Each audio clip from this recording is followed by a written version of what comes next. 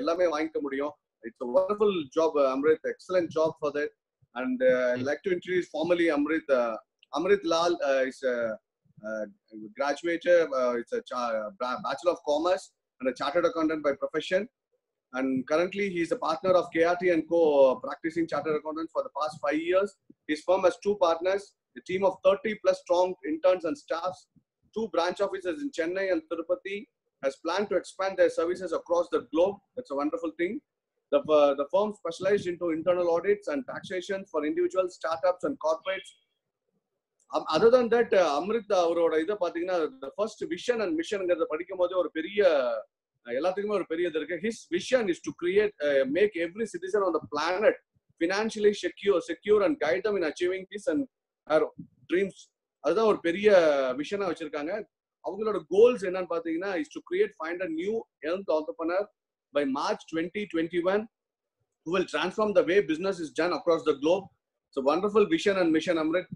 and he's associated associated with uh, so many other uh, organizations. He's a part of Charter Accounts of India (ICAI). He's a part of Southern uh, Southern Indian uh, Charter Accounts firm, the Students Association, SICASA, Information System Audit and Control Association, and Institute of Company Secretaries of uh, ICSI, Rotary Club of Chennai, uh, BNI, Young Entrepreneur School, Chennai, uh, Madras Management Association (MMA), Chartered Account Study Circle uh, Free Machinery Lodge, uh, Mount Charity number 232, uh, Young uh, Charterpreneurs, Landmark Worldwide Forum, Midra, Madras Bulls Motorcycle Forum. And he has given speeches in uh, GST at Real Estate Association of Chennai, Uh, audit and Financial Management Young Entrepreneur School, Ch- uh, Clash Flow Statement at Tamil Nadu Chamber of Commerce, about business management at Rotary uh, Club of Chennai, uh, about startup at Vail Tech University, Chennai, about 10 uh, tips for entrepreneurs to scale up their business and engineers association, and about fundraising and plan, business plan at Young Entrepreneurs. Is given more, other more trainings and given more speeches in other organization also. With it, I uh, formally uh, welcome uh, Amrit Lal for this wonderful session. Welcome, Amrit. Thank you thank you ah, Raja Raja sir இப்ப எந்த ஊர்ல இருக்காங்கன்னு சொல்ல மாட்டீங்க Raja station Actually, uh, Amrit is from Salem. I mean Chennai. Sorry, uh, Amrit is from Ch- Chennai, and uh, he's also a S member, and very proud to say that. Thank you, thank you, Amrit. Thank you sir thank you thank you so screen share பண்ணிடலாமா? இப்போ presentation.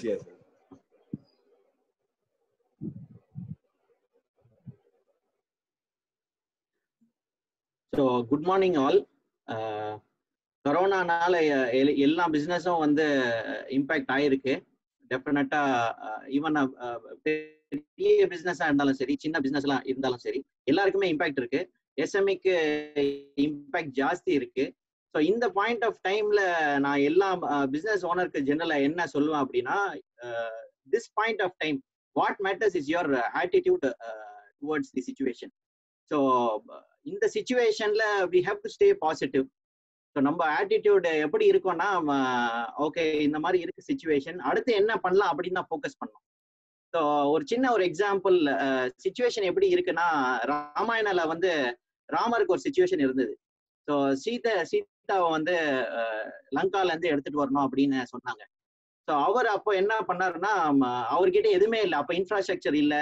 எதுவுமே இல்லை. எப்படி லங்கால இருந்து எடுத்துட்டு வரலாம் அப்படின்னு plan பண்ணும் போது அவர் என்ன யோசிச்சாருன்னா see, நம்ம கிட்ட இருக்கிற ரிசோர்ஸ் வந்து பீப்புள் தான். மக்கள் தான் அவங்களோட ரிசோர்ஸ் ஸோ அதை பெஸ்ட் எப்படி யூட்டிலைஸ் பண்ணலாம் அப்படின்னு யோசிச்சு தான் ஒரு தண்ணியிலே ஒரு பிரிட்ஜை கட்டியிருக்காரு. கட்டிட்டு சீதாவை எடு- எடுத்துட்டு வந்தாங்க. ஸோ அந்த point of time is what leadership matters so டஃப்பான சுச்சுவேஷன்ல எப்படி ஹேண்டில் பண்றது எப்படி பாசிட்டிவா இருக்கிறது அப்படின்னு இது ஒரு பெஸ்ட் எக்ஸாம்பிள் ஸோ இதுதான் வந்து ஃப்ரூகாலிட்டி அப்படின்னு சொல்லுவாங்க. ஸோ இது வந்து ஃப்ரூகாலிட்டி அப்போல இருந்தே இருக்கு. இது ஒரு பெஸ்ட் எக்ஸாம்பிள் ஃபார் ஃப்ரூகாலிட்டி ஃப்ரூகாலிட்டினா என்ன சிம்பிள் அப்படின்னா do more with less so நம்ம கிட்ட என்ன ரிசோர்ஸ் இருக்கு கையில? அதை வச்சுட்டு என்ன பெஸ்ட் நம்ம வந்து யூஸ் பண்ணிக்கலாம். அதுதான் வந்து ஃபோக்கஸா இருக்கணும். ஸோ இப்போ இருக்கிற கரண்ட் சுச்சுவேஷன் நமக்கு எல்லாருக்குமே தெரியும். நம்ம கிட்ட இருக்கிற பெரிய அசெட் நம்ம ஸ்டாஃப் தான். ஸோ நம்ம ஸ்டாஃபை வச்சுட்டு நம்ம என்ன பெஸ்ட் பண்ண முடியும் அப்படின்னு தான் நம்ம வந்து பார்க்கணும். ஸோ எல்லாருக்குமே ஃபியர் இருக்கும். இந்த மாதிரி சுச்சுவேஷன் வந்துருச்சே என்ன பண்ணலாம்? இது எவ்வளவு நாள் வரைக்கும் இருக்கும்? ஸோ அது ஒரு பெரிய கொஸ்டின் மார்க் இது வந்து எல்லாருமே எக்ஸ்பெக்ட் பண்றாங்கன்னா இன்னொரு தேர்ட்டி டேஸ் இருக்கும் அப்படின்னு எக்ஸ்பெக்ட் பண்றாங்க. ஸோ இந்த பாயிண்ட் ஆஃப் டைம்ல வி ஷுட் நாட் பி என்ன சொல்றது வெரி லோ ஏன்னா நம்ம as a leader we are if we are low நம்ம ஸ்டாஃபும் வந்து தேல் பி லோ ஸோ அந்த இம்பாக்ட் வந்து கண்டிப்பா we have to stay positive so அந்த ஃபியரை வந்து ஃபர்ஸ்ட் ரிமூவ் பண்ணிடுங்க. ஸோ இது என்ன பண்ண போறோம் எப்படி பண்ண போறோம் அப்படின்னு. ஸோ அந்த ஃபியரை ரிமூவ் பண்றதுக்கு தான் இந்த ஒரு செஷன் ஸ்பெஷலா வந்து வச்சிருக்காங்க. So thanks for the furniture cluster இந்த ஆப்பர்ச்சுனிட்டி கொடுத்ததுக்கு. ஸோ நம்ம will go in to the topic so so how to be proactive in finance அதுதான் டாபிக் ஸோ ப்ரோஆக்டிவ் அப்படின்னா என்ன அப்படின்னா uh, நிறைய ஆண்டர்பிரனர்ஸ் வந்து uh, uh, பிஸ்னஸ் நம்ம பண்ணிகிட்டே இருக்கோம். பட் நம்ம ஃபினான்ஷியல்ஸ் வந்து பார்க்கும் போது தான் நமக்கு தெரியும் நம்ம வந்து என்ன ஸ்டேஜ்ல இருக்கு எப்படி. இல்லை ஒரு ப்ராப்ளம் வரும்போது தான் நம்ம வந்து ஃபினான்ஸோ அக்கௌண்ட்ஸோ நம்ம பார்ப்போம். ப்ரோஆக்டிவ்னஸ்னா என்ன அப்படின்னா ஒரு நமக்கு கேஷ் ஃப்ளோ பிரச்சனையே வரக்கூடாது. அப்படின்னு மைண்ட்ல வச்சுட்டு ஆப்ரேட் பண்றது தான் ப்ரோஆக்டிவ்னஸ் இன் ஃபினான்ஸ் ஸோ எல்லாருக்குமே ஒரு கொஷின் என்ன அப்படின்னா ஸோ அக்கௌண்டிங் இன் ஃபினான்ஸ் எவ்வளோ இம்பார்ட்டன்ட் இது இது வந்து ரொம்ப கஷ்டமா இருக்கு என்ன பண்ணலாம்? இது வந்து அக்கௌண்டன்ட் பார்த்துப்பாரு இல்ல ஆடிட்டர் பார்த்துப்பாரு அப்படிங்கிற ஒரு மைண்ட் செட்ல தான் எல்லா பிசினஸ் ஓனர்ஸ் இப்போ இருக்காங்க. ஸோ நான் ஒரு ஜஸ்ட் ஒரு எக்ஸாம்பிள் கொடுத்துட்றேன் அக்கௌண்டிங் அண்ட் ஃபினான்ஸ் எவ்வளோ இம்பார்ட்டன்ட் அப்படின்னு ரியலைஸ் பண்ணோம் அப்படின்னா நம்ம எல்லாருமே கே கேள்விப்பட்டிருப்போம். ஸோ ஒரு பேஸ்மெண்ட் ஸ்ட்ராங்கா இருந்தால் தான் பில்டிங் வந்து ஸ்ட்ராங்கா இருக்கும். ஸோ நான் இப்போ இந்த எக்ஸாம்பிள்ல பேஸ்மெண்ட் வந்து நம்மளோட accounting and finance so any business ஆக்சுவலா பேஸ்மெண்ட் நீங்க ரியல் பேஸ்மெண்ட் பாத்தீங்கன்னா அக்கௌண்டிங் அண்ட் ஃபினான்ஸ் தான் வந்து பேஸ் பில்டிங் நீங்க பாத்தீங்கன்னா நம்ம பிசினஸ் தான் நம்ம பில்டிங் ஸோ எல்லாருமே வந்து கிரவுண்ட் ஃப்ளோர் கட்டிடுவாங்க. ஈஸியா கட்டிட முடியும். பட் எவ்வளவு பேரால வந்து ஒரு ஒரு ப- பத்து அபார்ட்மெண்ட்டோ இல்ல ஒரு நூறு அபார்ட்மெண்ட் மேல கட்டணும் அப்படின்னா பேஸ்மெண்ட் கண்டிப்பா வந்து ஸ்ட்ராங்கா இருக்கணும். ஸோ அந்த பேஸ் தான் அக்கௌண்டிங் இது ஃபர்ஸ்ட் பீப்புள் ரியலைஸ் பண்ணணும். ஸோ நீங்க எந்த பிசினஸ் வேணா எடுத்துக்கோங்க. அது ஸ்கேலபிள் இல்ல பெரிய பிசினஸ் ஆக்கணும் அப்படின்னா நீங்க வந்து உங்க பேஸ்மெண்ட்டை வந்து இன்டெப்தா அக்கௌண்ட் அண்ட் ஃபினான்ஸ் நீங்க எவ்வளோக்கு எவ்வளோ போறீங்களோ அதுக்கேற்ற மாதிரி தான் உங்க பிசினஸ் வந்து பில்டிங் மேல மேல போயிட்டே இருக்கும். ஸோ பில்டிங்ல நீங்க பாத்தீங்கன்னா ஒரு ஒரு ஸ்டேஜ் வந்து ஒரு ஒரு டிபார்ட்மெண்ட் வச்சுக்கோங்க. ஸோ இப்போ அக்கௌண்டிங் அண்ட் ஃபினான்ஸ் வந்து ஸ்ட்ராங்கா இருக்கு அப்படின்னா மற்ற டிபார்ட்மெண்ட்ஸும் இம்பார்ட்டன்ட் ஈக்குவலி இம்பார்ட்டன்ட் ஸோ இப்போ சேல்ஸ் உங்களுக்கு ஸ்ட்ராங்கா இருக்கு அப்படின்னா இன்னொரு பத்து மாடி கட்டலாம். உங்களுக்கு ஹெச்ஆர் ஸ்ட்ராங்கா இருக்குன்னா நீங்க எவ்வளவு மாடி வேணா கட்டலாம். ஸோ இது வந்து எல்லாமே கிரவுண்ட் ஃப்ளோர் கட்டினாதான் மேல கட்ட முடியும். ஸோ அக்கௌண்டிங் அண்ட் ஃபினான்ஸ் வந்து டெஃபினெட்லி எல்லா பிசினஸ் ஓனர் வந்து கொஞ்சம் சீரியஸா கண்டிப்பா இதை வந்து ஃபோக்கஸ் பண்ணணும்.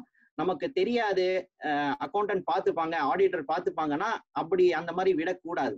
ஏன்னா இந்த ஏண்டு நம்ம தான் காசு போடுறோம் பிசினஸ்ல ஸோ லாஸ் ஆச்சு இல்லை எது எந்த ப்ராப்ளம்னாலும் நம்ம தான் ஹேண்டில் பண்ணணும். ஸோ அக்கௌண்டிங் அண்ட் ஃபினான்ஸ் வந்து டெஃபினெட்லி ஃபோக்கஸ் பண்ணணும். நம்ம ஃபர்ஸ்ட் ஸ்லைடு என்ன அப்படின்னா accounting and finance is easy to understand சரி எல்லாருக்குமே ஒரு மைண்ட்ல இருக்கு. அக்கௌண்டிங் வந்து கஷ்டமா இருக்கு. ஃபினான்ஸ் ரொம்ப கஷ்டமா இருக்கு. அப்படின்னு ஃபர்ஸ்ட் அந்த தாட் வந்து டெஃபினட்டா நீங்க ரிமூவ் பண்ணணும். ஏன் அப்படி சொல்றேன்னா you should have a right accountant அது இது ஒரு see what I'm trying to say is நீங்க பேசிக் வந்து ஸ்ட்ராங்கா இருக்கணும். ஆல் ஆண்டர்பிரனர்ஸ் uh, வந்து பிசினஸ் ஓனர்ஸ் எப்படின்னா அக்கௌண்டிங் அண்ட் ஃபினான்ஸ் வந்து இன்டெப்தா தெரியணும்னு அவசியமே இல்லை. நீங்க பேசிக் ஆர் ஃபவுண்டேஷன் வந்து நீங்க ஸ்ட்ராங்கா புரிஞ்சுக்கிட்டீங்கன்னா புரிஞ்சுக்கிட்டீங்கன்னா டெஃபினட்டா வந்து நீங்க எந்த பிசினஸ் வேணாலும் ஹேண்டில் பண்ணலாம். எவ்வளவு லார்ஜா கூட நீங்க எடுத்துன்னு போனா கூட உங்களுக்கு அக்கௌண்டிங் ஃபினான்ஸ் டெஃபினட்டா ஈஸியா இருக்கும். ஸோ ஜென்ரல் ப்ராப்ளம்ஸ் நான் சொல்லிடுறேன். எதனால வந்து பிசினஸ் கொஞ்சம் வீக் ஆயிடுது அப்படின்னா one of the main criteria வந்து அக்கௌண்டிங் வீக்கா இருக்கிறதுனால. ஏன்னா you don't have the right accountant so என்னோட ரிக்வஸ்ட் என்னன்னா have the right accountant so accountant வந்து வீக்கா இருக்காரா? அவருக்கு ப்ராப்பரா ட்ரைனிங் கொடுங்க. That is the first point ரெண்டாவது வந்து நான் பார்த்த வரைக்கும் அப்படின்னா அவங்க அவங்க அவங்களோட ஆடிட்டர்ஸே வந்து எங்கேஜ் பண்ண மாட்டேங்கிறாங்க. எங்கேஜ்னா அவங்களோட ஒரு ரெகுலர் டிஸ்கஷன் வந்து வச்சுக்க மாட்டேங்கிறாங்க. ஜென்ரலா நம்ம எல்லாருமே ஆடிட்டர் கிட்ட எப்போ வரோம் அப்படின்னா இயர் ரெண்டு முடிஞ்ச உடனே ஐடி ஃபைலிங் பண்றப்போதான் வந்து எல்லா பிசினஸ் ஓனர்ஸ் ஸோ என்னோட ரிக்வெஸ்ட் என்னன்னா நீங்க வந்து ஜூலைலயோ இல்ல செப்டம்பர்லயோ போகாம எவ்ரி மந்த் அட்லீஸ்ட் ஒரு பேசிக் டிஸ்கஷன் வச்சுக்கோங்க. நான் வந்து பிசினஸ் எப்படி போகுது என்ன பண்ணலாம் எப்படி கேஷ் ஃப்ளோ மேனேஜ் பண்ணலாம். சி ஆடிட்டருக்கு எல்லா ஆன்சர்ஸ் தெரியும் ஜென்ரலா. பட் விஷயம் என்னன்னா நம்ம கேட்டாதான் தெரியும். ப்ராப்ளம் என்னன்னா நம்ம கேட்கறதே யாரும். நாங்க எப்படி என்ன கேட்போம்னா டாக்ஸ் எவ்வளவு கம்மியா கட்டலாம் கேட்போம். அதான் சார் அதுதான். எல்லாமே நான் அதுதான். சி ஜென்ரலா எப்படி மைண்ட் செட் இருக்கணும் பிசினஸ் ஓனர்ஸ்க்கு சார் இதுதான் என்னோட டேக்ஸ் இதுக்கேத்த மாதிரி நீங்க ஃபைல் பண்ணிடுங்க. சோ ஆடிட்டர் என்ன சொல்லுவாரு? இல்ல சார் நீங்க பாருங்க ப்ராப்பரானா சி என்ன சொன்னாலும் இந்த எண்ட் பிசினஸ் ஓனர்ஸ்க்கு என்ன தேவை அப்படின்னா என் கையில இவ்வளவு காசு இருக்கு நான் இவ்வளவு டேக்ஸ் கட்டலாம். அதுக்கேத்த மாதிரி தான் இன்கம் காட்டுறாங்க தவிர ஆக்சுவலா ரிவர்ஸா இருக்கணும்.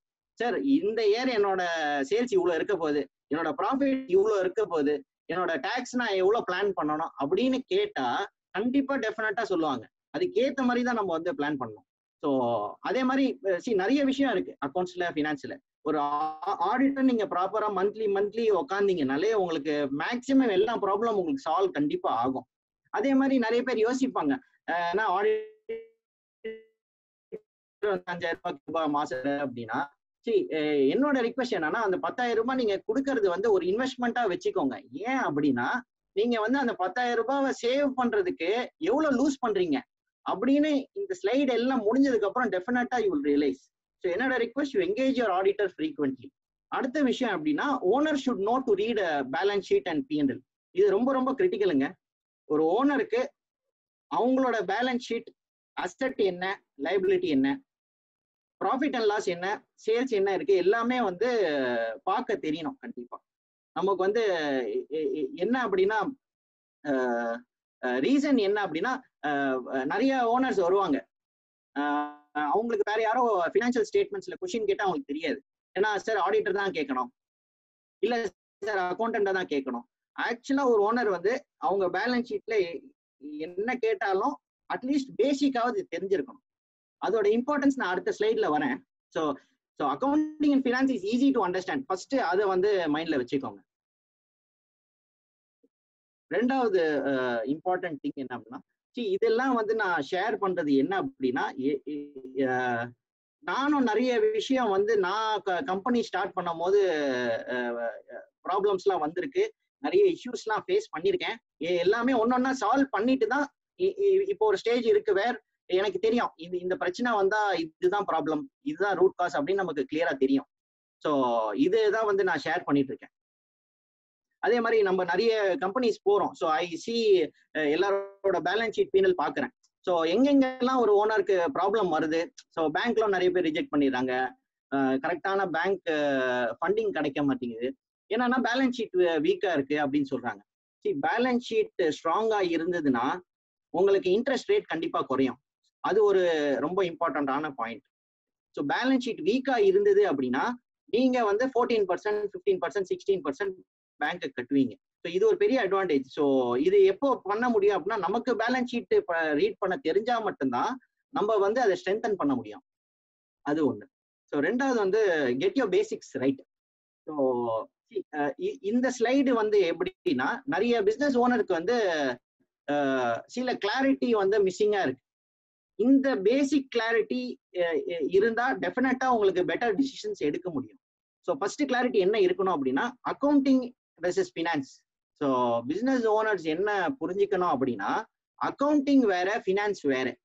அக்கௌண்டிங் என்ன அப்படின்னா வெறும் உங்களோட எல்லா சேல்ஸ் பர்ச்சேஸ் எக்ஸ்பென்ஸ் டிரான்சாக்ஷன்ஸை வந்து டேலியில் போடுறதோ இல்லை வேற சாஃப்ட்வேர்ல போடுறதோ தான் அக்கௌண்டிங் அதே மாதிரி ஒரு ஒரு வவுச்சர்ஸும் கரெக்டாக எழுதிட்டு மெயின்டைன் பண்ணுறது தான் ஆக்சுவலாக அக்கௌண்டிங் ஃபினான்ஸுங்கிறது வந்து என்ன அப்படின்னா உங்கள் கேஷ் ஃப்ளோவை மேனேஜ் எப்படி பண்ணுறது தான் ஃபினான்சிங் ஸோ மணி உள்ள காசு எவ்வளோ வரணும்?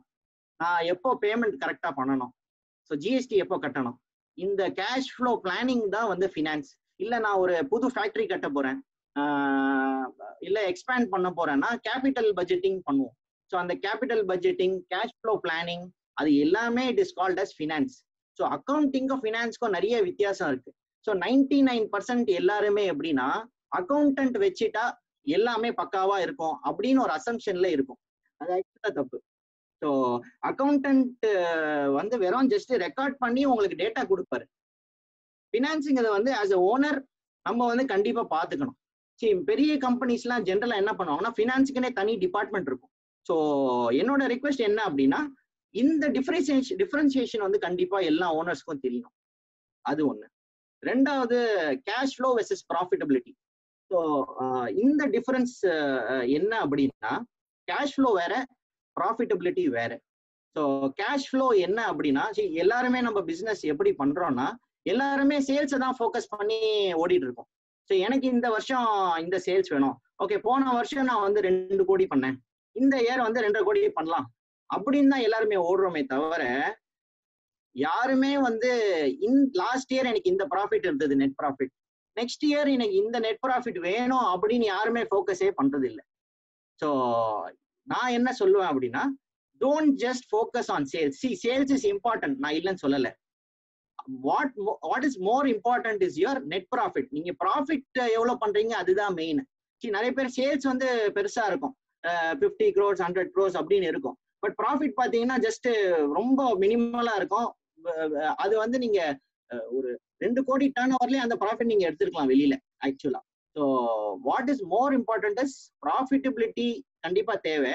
அதுக்கு மேல கேஷ் ஃப்ளோ வந்து ரொம்ப இம்பார்ட்டன்ட் அடுத்த ஸ்லைட்ல கேஷ் ஃப்ளோனா என்ன அப்படின்னு நான் கிளியரா எக்ஸ்பிளைன் பண்ணுவேன். இது ஜஸ்ட் ப்ராட் ஸ்லைட் ஆஃப் நான் என்னென்ன கவர் பண்ண போறேன் அப்படின்னு ஒரு ப்ராட் ஸ்லைடு இந்த எல்லா டாப்பிக்கும் வந்து மற்ற ஸ்லைட்ஸ்ல வந்து கவர் ஆகும். ஸோ மூணாவது வந்து ரிட்டர்ன் ஆன் கேபிட்டல் எம்ப்ளாய்டு சரி நிறைய பேர் நம்ம கேட்குறோம். என்னோட ப்ராஃபிட் கரெக்ட் தானா சார் அப்படின்னு நிறைய பேர் கேட்பாங்க. ஸோ எல்லாருமே என்ன கணக்கு போடுவாங்கன்னா சேல்ஸ் மேல ஒரு பர்சன்டேஜ் போட்டுட்டு சார் எனக்கு ரெண்டு பர்சன்ட் தான் ப்ராஃபிட் வருது. இது ரொம்ப கம்மியா இருக்கே அப்படின்னு பயப்படுவாங்க. சரி ஆக்சுவலா நீங்க சேல்ஸ் மேல நீங்க ப்ராஃபிட் போட்டு கரெக்டா வேல்யூ பார்க்க கூடாது. ஆக்சுவலா ரிட்டர்ன் ஆன் கேபிட்டல் எம்ப்ளாய்டு தான் வந்து இட்ஸ் தி ரைட் டேர்ம் அதுவும் நான் கவர் பண்றேன். ஃபோர்த் ரொம்ப இம்பார்ட்டண்டான டேர்ம் பேசிக் என்ன ஸ்ட்ரென்தன் பண்ணிக்கணும்னா காஸ்டிங் ஸோ மேக்சிமம் காஸ்டிங் வந்து ரொம்ப லிமிட்டட் பீப்புள் தான் காஸ்டிங்கே போடுறோம் அடுத்தது வந்து fixed cost versus variable cost வந்து கண்டிப்பாக நமக்கு டிஃப்ரென்ஸ் தெரியணும். அடுத்தது ஒர்க்கிங் கேபிட்டல் மேனேஜ்மெண்ட் அதையும் கவர் பண்ண போகிறோம் so cash flow versus profitability ஒரு நிமிஷம். So cash flow versus profitability என்னன்னா what is cash flow why it is important than profit இப்போதைக்கு கேஷ் ஃப்ளோ தான் ரொம்ப இம்பார்ட்டன்ட் ப்ராஃபிட்டை விட இப்போதைக்கு கேஷ் ஃப்ளோ எதனால அப்படின்னு நான் சொல்றேன். ஸோ நீங்க உங்களோட கேஷ் ஃப்ளோ ஒண்ணுமே இல்லைங்க. உங்களுக்கு பிஸ்னஸ்ல உள்ள வர காசு வெளியில போற காசை ப்ராப்பரா மேனேஜ் பண்ணீங்க அப்படின்னா அதுதான் கேஷ் ஃப்ளோ வேற எதுவுமே இல்லை. ஸோ என்ன நம்ம ஃபோக்கஸ் பண்ணோம் அப்படின்னா உள்ள வர காசு அட்லீஸ்ட் ஒரு ஃபிஃப்டீன் டுவெண்ட்டி பர்சன்ட் வெளியில போற காசோட ஜாஸ்தியா இருக்கணும். ஸோ பேசிக்கலி உங்களுக்கு உள்ள வர இன்கம் வெளில போற எக்ஸ்பென்ஸோட ஜாஸ்தியா இருக்கணும். அட்லீஸ்ட் ஃபிஃப்டீன் டுவெண்ட்டி பர்சன்ட் ஜாஸ்தியா இருக்கணும். அப்படி மேனேஜ் பண்ணோம் அப்படின்னா உங்க கேஷ் ஃப்ளோ வந்து பாசிட்டிவா இருக்கும். ஸோ நம்ம இந்த எக்ஸ்பென்சஸ் நான் சொல்றது வந்து ஃபிக்ஸட் காஸ்ட் வேரியபிள் காஸ்ட் ரெண்டுமே ஓகே ஸோ இன்ஃப்ளோ எங்கேருந்து வரும்? சேல்ஸ் மூலியமா தான் வரும். So inflow and outflow manage பண்றது தான் கேஷ் ஃப்ளோ இதை ரெகுலரா பண்ணணும். அண்ட் பிளான் பண்ணணும். உங்களோட இன்ஃப்ளோ அவுட்ஃப்ளோ வந்து ப்ராப்பரா பிளான் பண்ணி பண்ணணும். அதுதான் பட்ஜெட்டிங்னு சொல்லுவோம் நம்ம. But very few people do budgeting சரி இது கேஷ் கேட்குறாங்க அப்படின்னா மோஸ்ட் ஆஃப் டைம் ரீசன் பாத்தீங்க அப்படின்னா சேல்ஸ் தான் வந்து ப்ராப்ளம்ங்க ஸோ சேல்ஸ் வந்து கம்மியா இருக்கும் கம்மியா இருக்கும் எல்லாருக்குமே. அதே மாதிரி கலெக்ஷன் வந்து ரொம்ப வீக்கா இருக்கும். கலெக்ஷனை பத்தி இன் டீட்டெயிலா நம்ம பேசுவோம். So most of the time உங்களுக்கு கேஷ் ஃப்ளோ ப்ராப்ளம் இருக்கு அப்படின்னா உங்களோட சேல்ஸ் வந்து உங்களோட செலவுக்கு ஏற்ற மாதிரி உங்க சேல்ஸ் இல்லை. கம்மியா இருக்கு. அதுதான் ரீசன் மோஸ்டா நான் பார்த்த வரைக்கும் அதுதான் ரீசன் இருக்கும் ஜென்ரலா அதே மாதிரி இந்த கரோனானால நெக்ஸ்ட் சிக்ஸ் மந்த்ஸ் சேல்ஸ் வந்து கண்டிப்பா கம்மியா இருக்கும் லோவா இருக்கும். ஸோ அதுக்கேற்ற மாதிரி நம்ம வந்து கலெக்ஷன்ஸ் மேனேஜ் பண்ணா மட்டும்தான் நமக்கு கேஷ் ஃப்ளோ வந்து ப்ராப்பரா இருக்கும். ஸோ கேஷ் ஃப்ளோ உங்களுக்கு கிளியரா புரிஞ்சிருக்கும்னு நினைக்கிறேன். ஸோ இந்த சுச்சுவேஷனுக்கு நான் என்ன சொல்லுவேன் அப்படின்னா next six months don't focus too much on net profit percentage see எல்லாருமே நம்ம என்ன பண்ணுவோம் அப்படின்னா நான் ஒரு பெஸ்ட் எக்ஸாம்பிள் நான் உங்களுக்கு சொல்லிடுறேன். ஸோ இப்போ ஒரு கஸ்டமர் இப்போ வராங்க. நம்ம வந்து ஒரு ப்ராடக்ட் ஒரு ரேட்டுக்கு விற்கிறோம் ஒரு ஒரு ஸ்டேஜுக்கு கீழே கேட்டாங்க அப்படின்னா நம்ம நோ சொல்லிடுவோம்.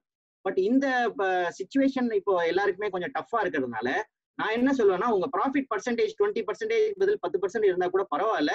சேலை முடிச்சிருங்க. டோன்ட் லூஸ் த சேல்னு நான் சொல்லுவேன். So focus on increasing the cash flow and keep your fixed cost low so உங்க ஃபிக்ஸட் காஸ்ட் எவ்வளோ கம்மியாக வச்சுக்கிறீங்களோ அவ்வளோ பெட்டர் அதே மாதிரி இது வந்து நான் சொல்றது நெக்ஸ்ட் சிக்ஸ் மந்த்ஸ் நீங்க வந்து கேஷ் ஃப்ளோ வந்து இம்பார்ட்டன்ட் ப்ராஃபிட்டோட கேஷ் ஃப்ளோ இம்பார்ட்டன்ட் நீங்க செப்டம்பருக்கு அப்புறம் ஒன்ஸ் கொஞ்சம் ஸ்டெபிலைஸ் ஆனதுக்கு அப்புறம் நீங்க வந்து ப்ராஃபிட்டபிலிட்டியை நோக்கி ஃபோக்கஸ் பண்ணலாம். So cash flow cash flow manage பண்ணணும். பட் உங்களுக்கு தேவையான கரெக்டான ப்ராஃபிட் நீங்க வந்து அதுக்கேற்ற மாதிரி பண்ணணும். ஸோ நெக்ஸ்ட் என்ன அப்படின்னா no if you're earning the right profit for the capital investment see எல்லாருக்குமே என்ன கொஷின் இருக்குன்னா நான் பண்ற ப்ராஃபிட் வந்து கரெக்டா இல்லையா அப்படின்னு ஒரு பெரிய டவுட் இருக்கும். ஸோ நீங்க அந்த டவுட்டை எப்படி ரிமூவ் பண்ணலாம் அப்படின்னா நீங்க வந்து ரிட்டர்ன் ஆன் கேபிட்டல் எம்ப்ளாய்டுன்னு ஒரு ரேஷியோ எல்லாருமே கேள்விப்பட்டிருக்கோம் ஆர்ஓசிஇ அப்படின்னு சொல்லுவாங்க. ஸோ இது பேர்லயே இருக்கு பாருங்க. Return on capital employed so நம்ம கேபிட்டல் நம்ம உள்ள போட்டிருக்கோம் பிசினஸ்ல அந்த பிசினஸ்க்கு நமக்கு எவ்வளவு ரிட்டர்ன் வருது? அதுதான் return on capital employed so இதோட ஃபார்முலா வந்து என்ன அப்படின்னா உங்களோட நெட் ப்ராஃபிட் இருக்கு இல்லையா? அதுல வந்து நீங்க இன்ட்ரெஸ்ட் அண்ட் டெப்ரிசியேஷன் எல்லாமே லெஸ் பண்ணிட்டு earnings before interest and taxes so உங்க earnings before interest and taxes எடுத்துட்டு divided by total asset total asset minus current liability பண்ணீங்க அப்படின்னா உங்களுக்கு return on capital capital employed வரும். ஸோ பேசிக்லி என்னங்க? நீங்க போட்ட ஃபண்ட்ஸ் நீங்க உங்க சொந்த ஃபண்ட்ஸ் போட்டிருப்பீங்க பிளஸ் பேங்க்ல லாங் டேர்ம் ஃபண்டிங் வாங்கியிருப்பீங்க. ஸோ இது எல்லாமே சேர்த்துட்டு பிசினஸ்ல நீங்க போட்டிருப்பீங்க. சரி ஒர்க்கிங் கேபிட்டல் இதுல இருந்து ஏன் ரிமூவ் பண்ணிடுறாங்க அப்படின்னா அது இந்த வித்தின் ஒன் இயர்லயே வந்து எல்லாமே அது யூஸ் ஆயிடுது உள்ள வந்து வெளில போகுது. அதனால அதை ரிமூவ் பண்ணிடுறோம். ஸோ நீங்க ரிட்டர்ன் ஆன் கேபிட்டல் எம்ப்ளாய்டு நீங்க எவ்வளோ பாத்தீங்க அப்படின்னா அதுக்கு மேலதான் நீங்க இந்த ப்ராஃபிட்டை வச்சு கணக்கு போடணும். இதுதான் ரியல் உங்க ப்ராஃபிட் கரெக்டா இருக்கா இல்லையா அப்படின்னு தெரிஞ்சுக்கிறதுக்கு இதுதான் இந்த ஃபார்முலா தான் நீங்க யூஸ் பண்ணணும். ஸோ நீங்க நம்ம சேல்ஸ் மேல போட்டு நெட் ப்ராஃபிட் பர்சன்டேஜ் பார்த்தோம்னா வேற மாதிரி இருக்கும். ஓகே ஸோ இந்த ரிட்டர்ன் ஆன் கேபிட்டல் என் எம்ப்ளாய்டு என்ன அப்படின்னா ஐடியல் ஐடியலா எவ்வளோ இருக்கணும் அப்படின்னு கேட்டீங்க அப்படின்னா fifteen to twenty five percent இருக்கணுங்க. ரிட்டர்ன் ஆன் கேபிட்டல் எம்ப்ளாய் நீங்க கால்குலேட் பண்ணும்போது இது கணக்கு வந்து ரொம்ப சிம்பிள் என்ன அப்படின்னா சப்போஸ் நான் இன்னைக்கு ஒரு பிசினஸ் ஸ்டார்ட் பண்றேன். ஒரு பத்து லட்ச ரூபாய் என்னோட சேவிங்ஸ்ல இருந்து பிசினஸ்ல இன்வெஸ்ட் பண்றேன். பிளஸ் பேங்க் கிட்ட ஒரு பத்து லட்சம் ரூபாய் போடுறேன் அப்படின்னு வச்சுக்கோம் ஸோ டோட்டலா உள்ள எவ்வளவு போட்டிருக்கேன்? Ten lakhs plus ten lakhs என்னோட ஓன் ஃபண்ட்ஸ் பத்து லட்சம் ரூபாய். என்னோட பேங்க்ல இருந்து லோன் வாங்கினது பத்து லட்சம் ரூபாய். ஸோ இருபது லட்சம் ரூபாய் நம்ம வந்து பிசினஸ்ல போட்டிருக்கோம். ஸோ இந்த பிசினஸ்ல போட்ட காசு ஜென்ரலா எவ்வளவு ரிட்டர்ன் நம்ம எதிர்பார்ப்போம்? ஒரு பிசினஸ் ஓனர் ஜென்ரலா டுவெண்ட்டி பர்சன்ட் டுவெண்ட்டி பர்சன்ட் மேலதான் வந்து ப்ராஃபிட் எதிர்பார்ப்பாங்க. ஏன் அப்படின்னா நீங்க இந்த காசு அப்படியே பேங்க் பிக்சட் டெபாசிட்ல போட்டீங்கன்னா உங்களுக்கு எவ்வளவு வரும்? ஃபைவ் பர்சன்ட் வரும் இல்லையா? ஸோ நம்ம போற எஃபர்ட்ஸுக்கு நம்ம போற டைம் அண்ட் சாக்ரிஃபைஸுக்கு நம்ம பேங்க் எஃப்டியோட ஜாஸ்தியா எதிர்பார்ப்போமா இல்லையா? டெஃபினட்டா எல்லாருமே பேங்க் பிக்சட் டெபாசிட்டோட ஜாஸ்தியா எதிர்பார்ப்போம். அதுதான் அந்த பத்து percent extra so bank FD five percent at least நமக்கு வரணும். அதுக்கு மேல நம்ம எடுக்கிற எஃபர்ட்ஸுக்கு பத்து பர்சன்ட் அடிஷ்னலா நமக்கு வரணும். ஸோ டோட்டலா at least minimum fifteen percent to twenty percent மேலே தான் நமக்கு வந்து நம்ம போடுற காசுக்கு ரிட்டர்ன் கண்டிப்பாக இருக்கணும். ஸோ இது வந்து நீங்க கால்குலேட் பண்ணீங்க அப்படின்னா உங்களுக்கு கிளியரா தெரிஞ்சிடும் நம்ம இந்த பிசினஸ்ல காசு போட்டது ஒர்த்தா இல்லையா அப்படின்னு இதை நீங்க போட்டீங்க அப்படின்னா கிளியரா தெரிஞ்சிடும் நிறைய பேருக்கு ஷாக்கிங்கா என்ன ஆகும் அப்படின்னா இந்த ரிட்டர்ன் இந்த பர்சன்டேஜ் கால்குலேட் பண்ணும் போது பேங்க் பிக்சட் டெபாசிட்டோட கம்மியா ப்ராஃபிட் பண்ணிட்டு இருப்பாங்க அவங்க பிசினஸ்ல அதை தெரியாம நம்ம வந்து பிசினஸ் பண்ணிட்டே இருப்போம் அதுதான் வந்து ப்ராப்ளம் ஸோ ஜென்ரலா இது இன்னொரு இன்னொரு வேலை எப்படி கண்டுபிடிக்கலாம் அப்படின்னா ஒரு ஓனர் பிசினஸ்ல எப்போ காசு எவ்ரி இயர் உள்ள கொண்டு வந்துட்டே இருக்காரோ அப்போனா தேர் இஸ் கொஞ்சம் நீங்க வந்து பார்க்கணும். இது நம்ம ஏன் உள்ள பிசினஸ்ல காசு போட்டுட்டே இருக்கோம்? நம்ம வந்து பிசினஸ் வெளியில எடுக்கவே முடியல காசை வெளியில எடுக்கவே முடியல அப்படின்னு டெஃபினட்டா உங்களுக்கு அந்த டவுட் வரும். இன்னொன்னு எப்போ பாரோ பண்ணணும்? நான் ஒரு பேங்க் கிட்ட எப்போ லோன் வாங்கலாம்? சில பேருக்கு ஒரு பயம் இருக்கும். நான் லோன் வாங்கிட்டே இருக்கேனே உனக்கு கொஞ்சம் பயமா இருக்கு என்ன ஆகும்? அப்படின்னு அந்த பயம் இருந்ததுன்னா ஜென்ரலா நான் என்ன சொல்லுவேன் அப்படின்னா borrow and do business only if your net profit percentage is more than the borrowing rate so என்ன சொல்ல வரேன் அப்படின்னா நீங்க எப்போ பாரோ பண்ணணும் அப்படின்னா நீங்க பாரோ பண்ற இன்ட்ரெஸ்ட் ரேட் ஒரு சே பன்னெண்டு பர்சன்ட் வச்சுக்கோங்க. பேங்க் வந்து பன்னெண்டு பர்சன்ட் உங்களுக்கு வந்து லோன் கொடுக்குறாங்க. ஸோ நீங்க பன்னெண்டு பர்சன்ட் பேங்க் கிட்ட இருந்து வாங்குறீங்க. அதை பிசினஸ்ல உள்ள போடுறீங்க. போட்டுட்டு உங்களுக்கு நீங்க எவ்வளவு எதிர்பார்ப்பீங்க?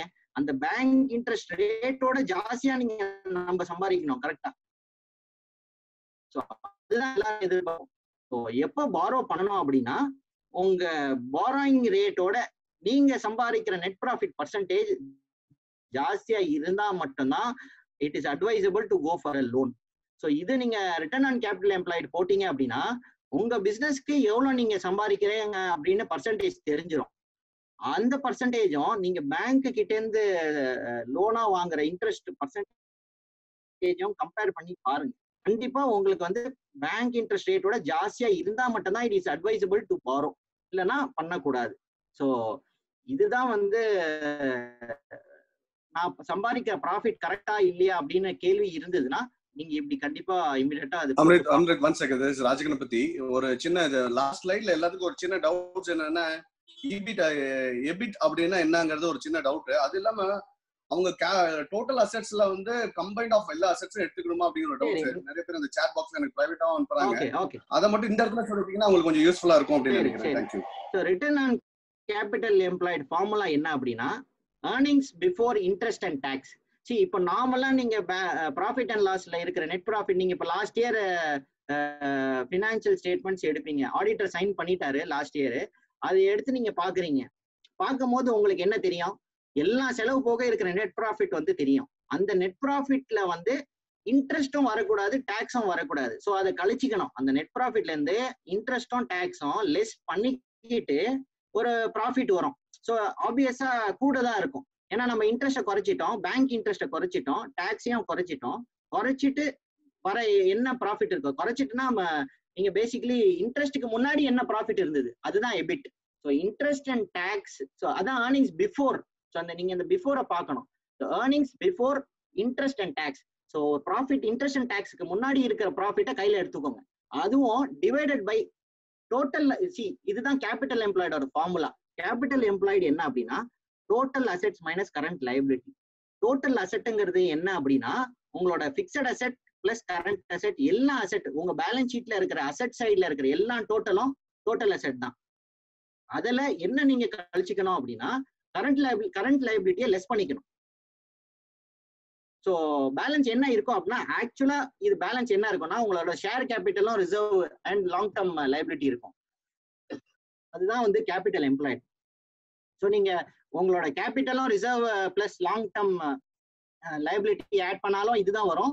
Total asset minus current liability less பண்ணாலும் கேபிட்டல் எம்ப்ளாய்டு தான் வரும். ஸோ இந்த earnings before interest and taxes divided by total assets minus current liability பண்ணிட்டீங்கன்னா உங்களுக்கு ஒரு பர்சன்டேஜ் வரும். பாயிண்ட் ஃபோர் பாயிண்ட் டூ அப்படின்னு வரும்.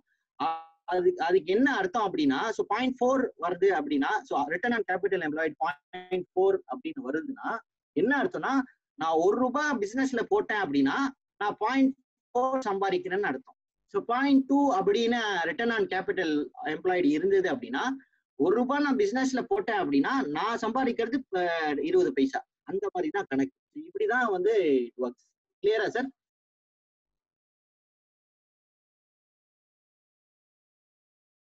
hello yes yes yes Amrit go ahead please okay சரி அஞ்சாவது இம்பார்ட்டன்ட் இம்பார்ட்டண்ட்டான ஒரு ஏரியா இந்த டைம்ல வந்து என்னை பொறுத்த வரைக்கும் நம்பர் ஒன் ப்ரையாரிட்டி வந்து காஸ்டிங் தான். எதனால அப்படின்னா அது இந்த ஸ்லைட்ல நான் சொல்றேன். So costing is very critical now and for the future okay reason என்ன அப்படின்னா பார்த்த வரைக்கும் பத்து percent of the business owner தான் காஸ்டிங் வந்து அக்யூரேட்டா போடுறாங்க. மற்ற எல்லாருமே என்ன பண்றோம் அப்படின்னா மைண்ட்ல கணக்கு வச்சுக்கிறோம். ஸோ இதுதான் என்னோட காஸ்டா இருக்கும். ஸோ நம்ம இவ்வளோ பர்ச்சேஸ் பண்றோம். ஒரு பர்சன்டேஜ் ஆட் பண்ணிட்டு வித்துடுறோம். ஸோ அது அப்படிதான் பண்ணிட்டு இருக்கோம். இன்னொன்னு நிறைய பேர் என்ன சொல்றோம் அப்படின்னா சார் மார்க்கெட்ல ரேட் ஆல்ரெடி ஃபிக்ஸ் ஆயிடுச்சு சார் அதுக்கு மேல விற்க முடியாது. அப்படின்னு டெஃபினட்டா வேலிட் கொஸ்டின் தான். எல்லாருமே கேட்கறது வந்து மார்க்கெட்ல இருக்கிற ப்ரைஸுக்கு ஏற்ற மாதிரி தான் சார் நான் பிசினஸ் பண்ண முடியும். நான் என்னோட காஸ்டிங் ஜாஸ்தியா இருக்குன்னா மார்க்கெட் ரேட்டுக்கு இது மே- மேல வந்து விற்க முடியாது இல்லையா? அப்படின்னு ஆக்சுவலா ஒரு பிசினஸ் ஓனர் வந்து சொல்லக்கூடாது. ஸோ காஸ்ட்டை வந்து நம்ம கையில இருக்கு. அதை எப்படி நம்ம மேனேஜ் பண்றோம் அப்படின்னா சரி இப்போ கம்பெனிஸ் எப்படி சக்சஸ்ஃபுல்லா ஆகுறாங்க அப்படின்னா அவங்க காஸ்டிங் வந்து அக்யூரேட்டா தெரியும். ஒரு ப்ராடக்ட் நான் மேனுஃபேக்சர் பண்றேன் அப்படின்னா என்னோட காஸ்ட் என்ன அப்படின்னு ரொம்ப கிளியரா தெரியும். என்ன அட்வான்டேஜ் காஸ்டிங் போட்டோம் என்ன அட்வான்டேஜ் அப்படின்னா costing will help in decision making and increase your profit நான் ஒரு எக்ஸாம்பிள் சொல்லிடுறேன். காஸ்டிங் பண்ணோம் அப்படின்னா உங்களுக்கு டிசிஷன் மேக்கிங் அண்ட் ப்ராஃபிட்ல எவ்வளோ இம்பாக்ட் இருக்கும்னு நான் ஒரு எக்ஸாம்பிள் சொல்லிடுறேன். சப்போஸ் ஒரு நீங்க ஒரு ப்ராடக்ட் வந்து மேனுஃபேக்சர் பண்றீங்க. அந்த ப்ராடக்ட் வந்து இரநூறு ரூபாய் செல்லிங் ப்ரைஸ்ன்னு வச்சுக்கோங்க. உங்களோட காஸ்ட் வந்து நூத்தி இருபத்தஞ்சு ரூபாய் அப்படின்னு வச்சுக்கோங்க. ஸோ செல்லிங் ப்ரைஸ் இரநூறுபா. உங்களோட காஸ்ட் வந்து எல்லாம் காஸ்டிங்க காஸ்ட் இன்க்ளூட்ஸ் டைரக்ட் மெட்டீரியல் உங்க டைரக்ட் லேபர் டைரக்ட் எக்ஸ்பென்சஸ் அதே மாதிரி உங்களுக்கு ஓவர் ஹெட்ஸ் நிறைய இருக்கும். That is all the fixed cost எல்லாமே நான் சொல்றது எல்லா எக்ஸ்பென்சஸ் சேர்த்துட்டு ஒரு காஸ்டிங் வந்து அரைவ் பண்ணுவாங்க. ஸோ ஒரு யூனிட்டுக்கு எவ்வளோ அப்படின்னு ஒரு காஸ்ட் ஜென்ரலாக அரைவ் பண்ணுவோம் ஸோ அந்த காஸ்ட் வந்து நூத்தி இருபத்தஞ்சு ரூபான்னு வச்சுக்கோங்க. ஸோ இரநூறுபா செல்லிங் ப்ரைஸ் நூத்தி இருபத்தஞ்சு ரூபாய் உங்களோட காஸ்ட் நம்ம என்ன பண்றோம்? டுவெண்ட்டி ஃபைவ் ருபீஸ் மார்ஜின் போட்டு நூத்தி ஐம்பது ரூபாய் மேல வந்தா நமக்கு ப்ராஃபிட் இருநூறு ரூபாய்க்கு விற்கலாம் அப்படின்னு பிளான் பண்றோம். So one twenty five plus ஒரு மார்ஜின் ஆட் பண்ணிடுறோம். அதுக்கப்புறம் நம்ம வந்து டூ ஹண்ட்ரட் ருபீஸ் செல்லிங் ப்ரைஸ்னு டிசைட் பண்றோம். ஸோ இப்போ விஷயம் என்ன அப்படின்னா ஒரு உங்களோட காஸ்ட் ஒன் டுவெண்ட்டி ஃபைவ் உங்களுக்கு கிளியரா தெரிஞ்சுது அப்படின்னா உங்களுக்கு என்ன அட்வான்டேஜ் அப்படின்னா ஒரு ஒரு கஸ்டமர் உங்ககிட்ட வராரு. ஒரு பெரிய ஒரு ஒரு லட்சம் பீஸ் வந்து ஒரு பொருள் கேட்கிறாரு ஓகே எவ்வளவு ரூபாய்க்கு கேட்கிறாரு அப்படின்னா ஒன் டுவெண்ட்டி சிக்ஸ் ருபீஸ் கேட்கிறாரு சரி உங்களோட காஸ்ட் வந்து நூத்தி இருபத்தஞ்சு ரூபாய் தட் இஸ் எல்லாம் செலவு இன்க்ளூட் பிளஸ் மார்ஜினா எல்லாமே இன்க்ளூட் பண்ணிட்டு நூத்தி இருபத்தஞ்சு ரூபாய் நீங்க விற்கிறது வந்து இருநூறு ரூபாய்க்கு விற்கிறீங்க ஸோ ஒருத்தர் வந்து ஒன் டுவெண்ட்டி சிக்ஸ் ருபீஸ் கேட்கிறாரு ஒரு ரூபாய் ஜாஸ்தியா கேட்கிறாரு காஸ்டோட ஒரு ரூபாய் ஜாஸ்தியா கேட்கிறாரு இப்போ நார்மலா ஒரு பிசினஸ் ஓனர் என்ன பண்ணுவோம்? ஐயோ நான் வந்து இரநூறு ரூபாய்க்கு விற்கிறேன் ஒரு நூத்தி ஐம்பது ரூபாய்க்கு எனக்கு கேட்டா கூட பரவாயில்ல. ஆனா ஒரு ஒன் டுவெண்ட்டி சிக்ஸ் ருபீஸ் கேட்கிறாரு எனக்கு கட்டுப்படியே ஆகாதே அப்படின்னு எல்லாருக்குமே மைண்ட்ல இருக்கும். ஏன் அப்படின்னா காஸ்டிங் வந்து அக்யூரேட்டா போடாம இருந்தோம் அப்படின்னா ஒரு ரூபாய் டிஃபரன்ஸ் இருந்தா கூட நம்ம சேல் பண்ணிடலாம் அப்படின்னு டிசிஷன் அப்பதான் எடுக்கவே முடியும். ஸோ ஒரு லட்சம் பீஸ் ஒருத்தர் கேட்கிறாரு ஒரு ரூபாய் காஸ்டிங்கோட ஒரு ரூபாய் ஜாஸ்தியா கேட்கிறாரு அப்படின்னா என்ன ஆகும் அப்படின்னா ஒரு லட்சம் ஒரு லட்சம் பீஸ் வித்தீங்கன்னா அட்லீஸ்ட் ஒரு லேக் ஒன் லேக் ப்ராஃபிட் வருது இல்லையா உங்களுக்கு? ஸோ நீங்க நம்ம நாமளா என்ன பண்ணோம் இல்ல நான் சேல் பண்ண மாட்டேன். எனக்கு ரொம்ப கம்மி மார்ஜின் இருக்கு. ஏன் அப்படின்னா காஸ்டிங்கே போடாம நம்ம அசியூம் பண்ணோம். என்னோட காஸ்ட் நூத்தி ஐம்பது ரூபாய் அசியூம் பண்ணுவோம். ஆக்சுவலா காஸ்ட் ஒன் டுவெண்ட்டி ஃபைவ் தான். ஸோ இந்த மாதிரி டிசிஷன்ஸ் வந்து எப்போ எடுக்க முடியும்னா காஸ்டிங் நீங்க அக்யூரேட்டா பண்ணா ஒரு பெரிய ஆர்டர் வருது. ரொம்ப கம்மி மார்ஜின்ல கேக்குறாங்க. நமக்கு அது பண்ணணும் அப்படின்னா காஸ்டிங் அக்யூரேட்டா தெரிஞ்சது அப்படின்னா நீங்க இந்த டிசிஷன்லாம் எடுக்கலாம். இன்னொரு பெரிய அட்வான்டேஜ் என்னன்னா அதே கஸ்டமர் வந்து ஒன் டுவெண்ட்டி ஃபோர் ருபீஸ் கேட்கறாங்க that is cost one twenty five ஆனா அவர் என்ன ரேட்டு கேட்கறாருன்னா ஒன் டுவெண்ட்டி ஃபோர் ருபீஸ்க்கு கேட்கறாரு ஸோ அப்போ நம்ம ஜா நார்மலா என்ன பண்ணுவோம் அப்படின்னா பிசினஸ் ஓனர் நம்ம நோன்னு சொல்லணும். ஏன்னா நிறைய பேர் அந்த தப்பு பண்றாங்க. தட் இஸ் காஸ்டிங்கே தெரியாம கம்மி ரேட்டுக்கு சேல் பண்ணிடுறாங்க. சரி கேட்குறாரே நமக்கு ஆர்டர் போயிடுமே அப்படின்னு. சரி நான் என்ன சொல்லுவேன்? ஒன் டுவெண்ட்டி ஃபைவ் ருபீஸ் உங்களோட காஸ்ட்டு இரநூறு ரூபாய் செல்லிங் ப்ரைஸ்னா உங்களுக்கு எழுபத்தஞ்சு ரூபாய் இருக்கு. ப்ராஃபிட் வந்து எழுபத்தஞ்சு ரூபாய் இருக்கு. அந்த ப்ராஃபிட் செவன்டி ஃபைவ் ருபீஸ் பதில் ஒரு முப்பது ரூபாய் ப்ராஃபிட் இருந்தா கூட பரவாயில்ல. ஆனா எப்பவுமே காஸ்ட்டோட கீழே ஒரு ரூபாய் கூட நீங்க சேலே பண்ணக்கூடாது ஆக்சுவலா டெஃபினட்டா வந்து காஸ்டிங் தெரிஞ்சா மட்டும்தான் நீங்க அந்த டெசிஷன் எடுக்க முடியும். ஸோ நீங்க எந்த பெரிய கம்பெனி பார்த்தா கூட காஸ்டிங் வந்து ரொம்ப கிறிஸ்டல் கிளியரா இருப்பாங்க.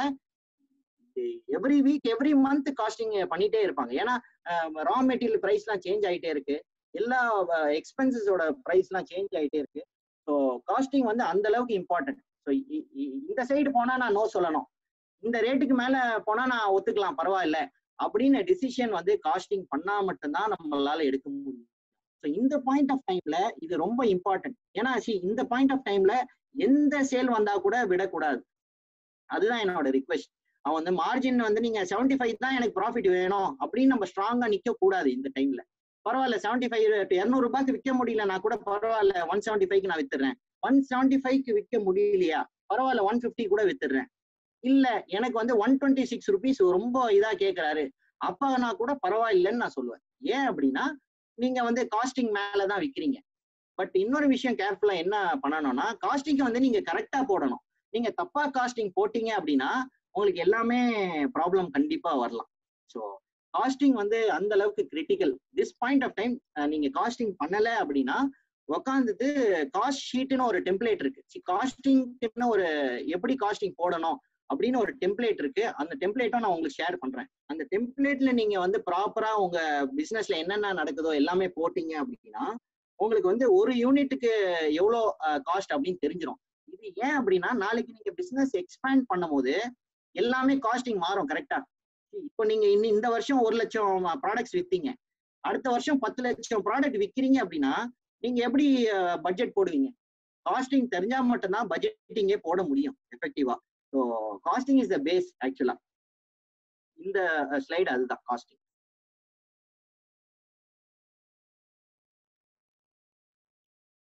அடுத்த இம்பார்ட்டன்ட் பாயிண்ட் uh, என்ன அப்படின்னா know your fixed cost and keep it as low as possible நிறைய பார்த்த வரைக்கும் எப்படி இருக்குன்னா only fifty percent of the business ஓனருக்கு வந்து ஃபிக்ஸட் காஸ்ட்னா என்னன்னு கிளியரா தெரியும். அக்யூரேட்டா அடுத்த மாசம் என்னோட பிக்சட் காஸ்ட் இதுதான் இருக்க போகுது அப்படின்னு கிளியரா only fifty percent of the ஓனர்ஸ்க்கு தெரியும். சி ஃபிக்ஸட் காஸ்ட்னு என்ன அப்படின்னா உங்களுக்கு பிசினஸ் நடக்குதோ இல்லையோ இந்த செலவெல்லாம் நீங்க பண்ணியே ஆகணும். அந்த மாதிரி காஸ்ட் எல்லாமே பிக்சட் காஸ்ட் வேரியபிள் காஸ்ட் என்ன அப்படின்னா உங்களுக்கு ப்ரொடக்ஷன் நடந்தா நான் வந்து ரா மெட்டீரியல் பர்ச்சேஸ் பண்ணுவேன். ப்ரொடக்ஷன் நடந்தா கன்சியூமபிள்ஸ் வாங்குவேன். ப்ரொடக்ஷன் நடந்தா நான் வந்து கான்ட்ராக்ட் லேபர்ஸை கூப்பிடுவேன். இந்த மாதிரி ப்ரொடக்ஷன் ரிலேட்டட் உங்களுக்கு எல்லாமே செலவு மாறுது அப்படின்னா அது எல்லாமே வேரியபிள் காஸ்ட் ஜென்ரலா டைரக்ட் காஸ்ட்னு சொல்லுவாங்க. ஸோ உங்க நம்ம ஆஸ் அ பிசினஸ் ஓனர் நமக்கு வந்து பிக்சட் காஸ்ட் வேரியபிள் காஸ்டோட டிஃபரன்ஸ் கண்டிப்பா தெரியணும். ஸோ பிக்சட் காஸ்ட் என்ன அப்படின்னா உங்களுக்கு பிசினஸ் நடக்குதோ இல்லையோ இந்த செலவுலாம் பண்ணி ஆகணும் இந்த கரோனா டைம்னால இப்ப எல்லா பிசினஸ் ஓனருக்கும் ரொம்ப கிளியரா தெரிஞ்சிருச்சு. சேல்ஸ் வந்து எல்லாருக்குமே இல்லை. ஆனா பிக்சட் காஸ்ட் நீங்க கொடுத்தே ஆகணும் கரெக்டா உங்களுக்கு ரெண்ட் நீங்க கொடுத்தாகணும் உங்க சேலரி நீங்க கொடுத்தாகணும். அந்த மாதிரி நிறைய பிக்சட் காஸ்ட் இருக்கு. லைக் டெலிஃபோன் எக்ஸ்பென்ஸ் நீங்க வந்து யூஸ் பண்றீங்களோ இல்லையோ நீங்க பே பண்ணி ஆகணும். உங்களோட இன்டர்நெட் வந்து ஒரு பிக்சட் காஸ்ட் உங்களோட பேங்க் லோன் இஎம்ஐ ஒரு பிக்சட் காஸ்ட் உங்களுக்கு இன்சூரன்ஸ் நீங்க கட்டுறீங்க பாத்தீங்களா உங்க ஃபேக்டரி ஒரு ஸ்டாக் இல்ல அசெட் இது எல்லாமே பிக்சட் காஸ்ட் இல்ல நீங்க ஒரு ஏஎம்சி எடுத்திருக்கீங்க. வருஷம் வருஷம் நீங்க பேமெண்ட் பண்றீங்க. ஸோ இது எல்லாமே ஒரு பிக்சட் காஸ்ட் ஸோ நீங்க பிசினஸ் பண்றீங்களோ இல்லையோ உங்களுக்கு நீங்க ஒரு லட்சம் ப்ராடக்ட் பண்ணாலும் இதே செலவு தான் ஆக போகுது ஒரு அஞ்சு லட்சம் ப்ராடக்ட் வித்தா கூட கொஞ்சம் ஃபிக்ஸட் காஸ்ட் ஜாஸ்தி ஆகும் அவ்வளவுதான். பட் ரொம்ப வேரி ஆகாது. இந்த செலவு வந்து ஃபிக்ஸட் காஸ்ட் வந்து வேரி ஆகாது. ஸோ ரெண்டும் அதே மாதிரி தான் நீங்க ஒரு ஒரு ஃபேக்டரி வச்சிருக்கீங்க ஐம்பதாயிரம் ரூபாய் ரெண்ட் கொடுக்குறீங்க. நீங்க அதுல மேக்சிமம் கெப்பாசிட்டி பத்து லட்சம் யூனிட் பண்ணலாம் அப்படின்னா நீங்க ஒரு லட்சம் யூனிட் பண்ணா கூட அதே ரெண்ட் தான் கட்ட போறீங்க. பத்து லட்சம் யூனிட் பண்ணா கூட அதே ரெண்ட் தான் பண்ண போறீங்க.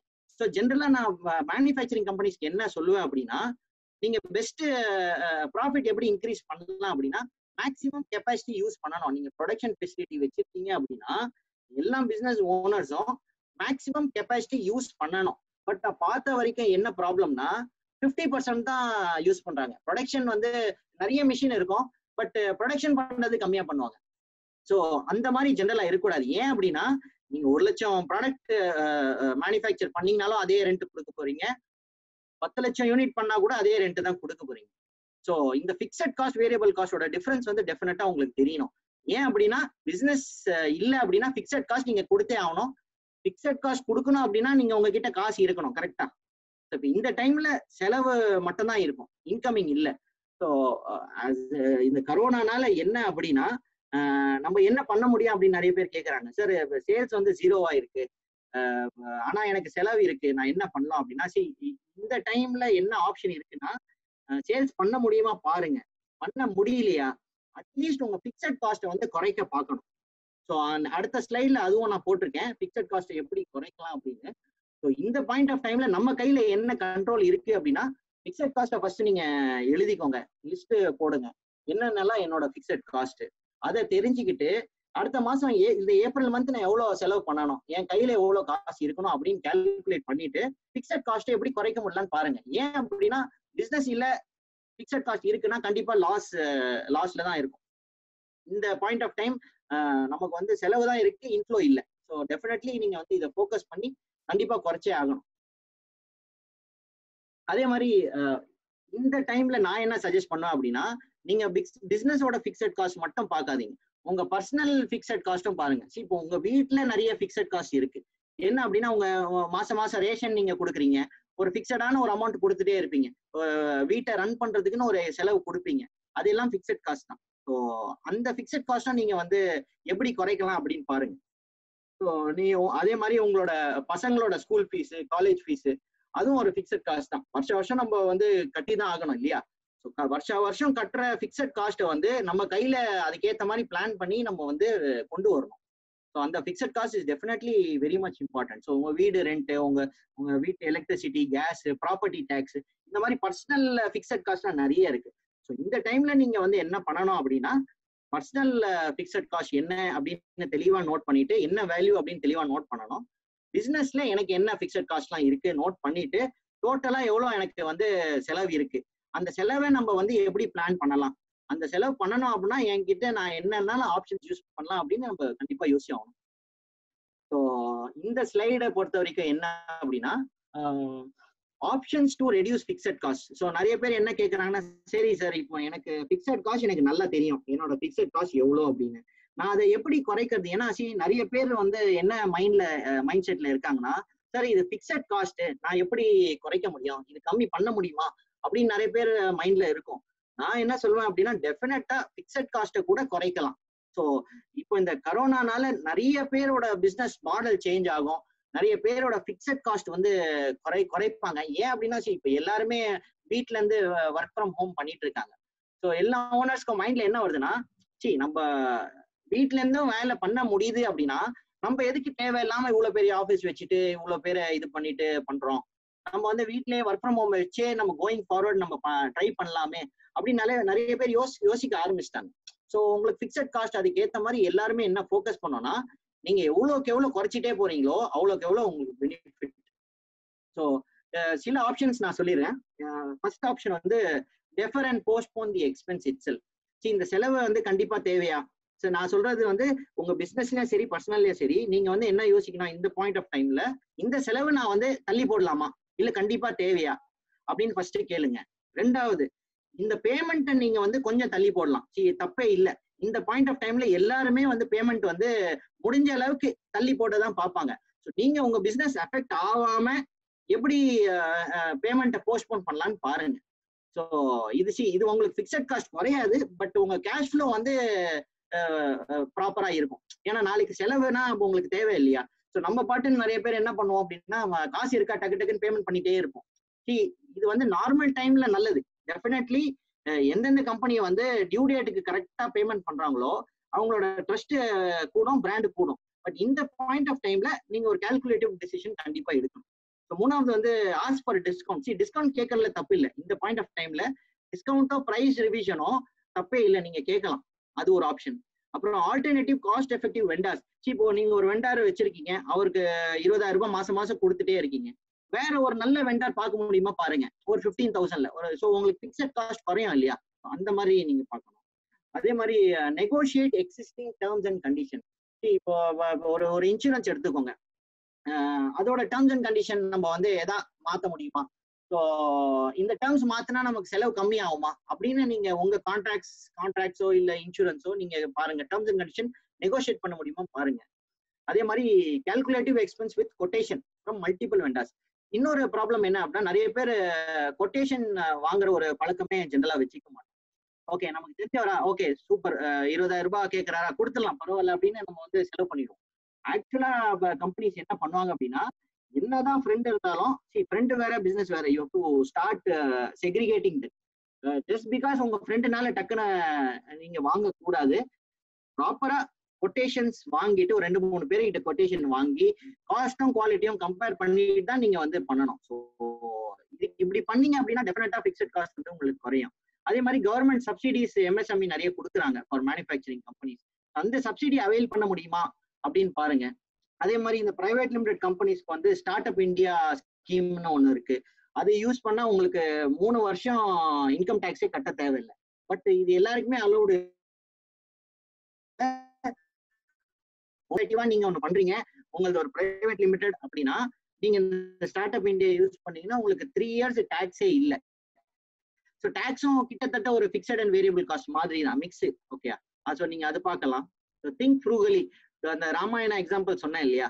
டூ மோர் வித் லெஸ் இதுக்கு ஒரு பெஸ்ட் எக்ஸாம்பிள் நான் என்ன சொல்லுவேன்னா மார்க்கெட்டிங் ஸ்டாஃப் ஸோ நீங்க ஒரு ஹாஸ்பிட்டலோ இல்லை ஹெல்த் கேர் இண்டஸ்ட்ரியில பாத்தீங்க அப்படின்னா மார்க்கெட்டிங் ஸ்டாஃப் சேலரி கொடுக்குறோம் பாத்தீங்களா? ஒரு இருபதாயிரம் ரூபாய் ஒரு மார்க்கெட்டிங் ஸ்டாஃப்ல ஒரு ஹெல்த் கேர்ல கொடுத்தாங்க அப்படின்னா அவங்களோட தம் ரூல் என்ன அப்படின்னா thirteen times of the salary நல்லா கேட்டுக்கோங்க. மார்க்கெட்டிங் ஸ்டாஃபோட சேலரியோட தேர்ட்டீன் டைம்ஸ் வந்து அவர் மூலியமா எனக்கு ப்ராஃப் ஜென்ரலா ப்ராஃபிட் வரணும்.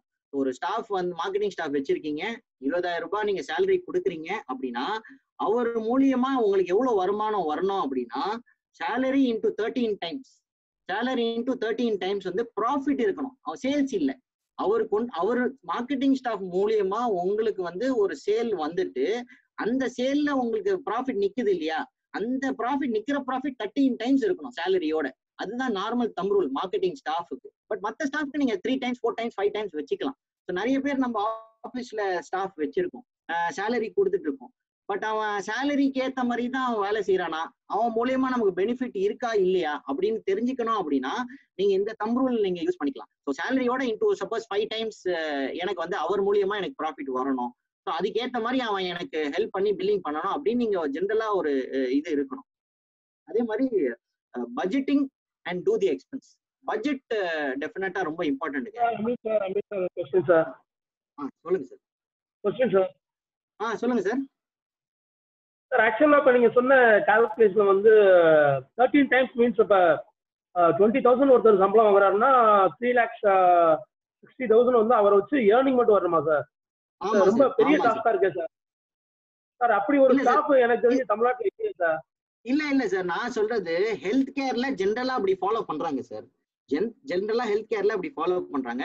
பட் அந்த மாடல் நம்ம எல்லா பிசினஸ்க்கும் பண்ண முடியாது. அதனால தான் த்ரீ டைம்ஸ் ஃபோர் டைம்ஸ் நான் சொல்லியிருக்கேன்.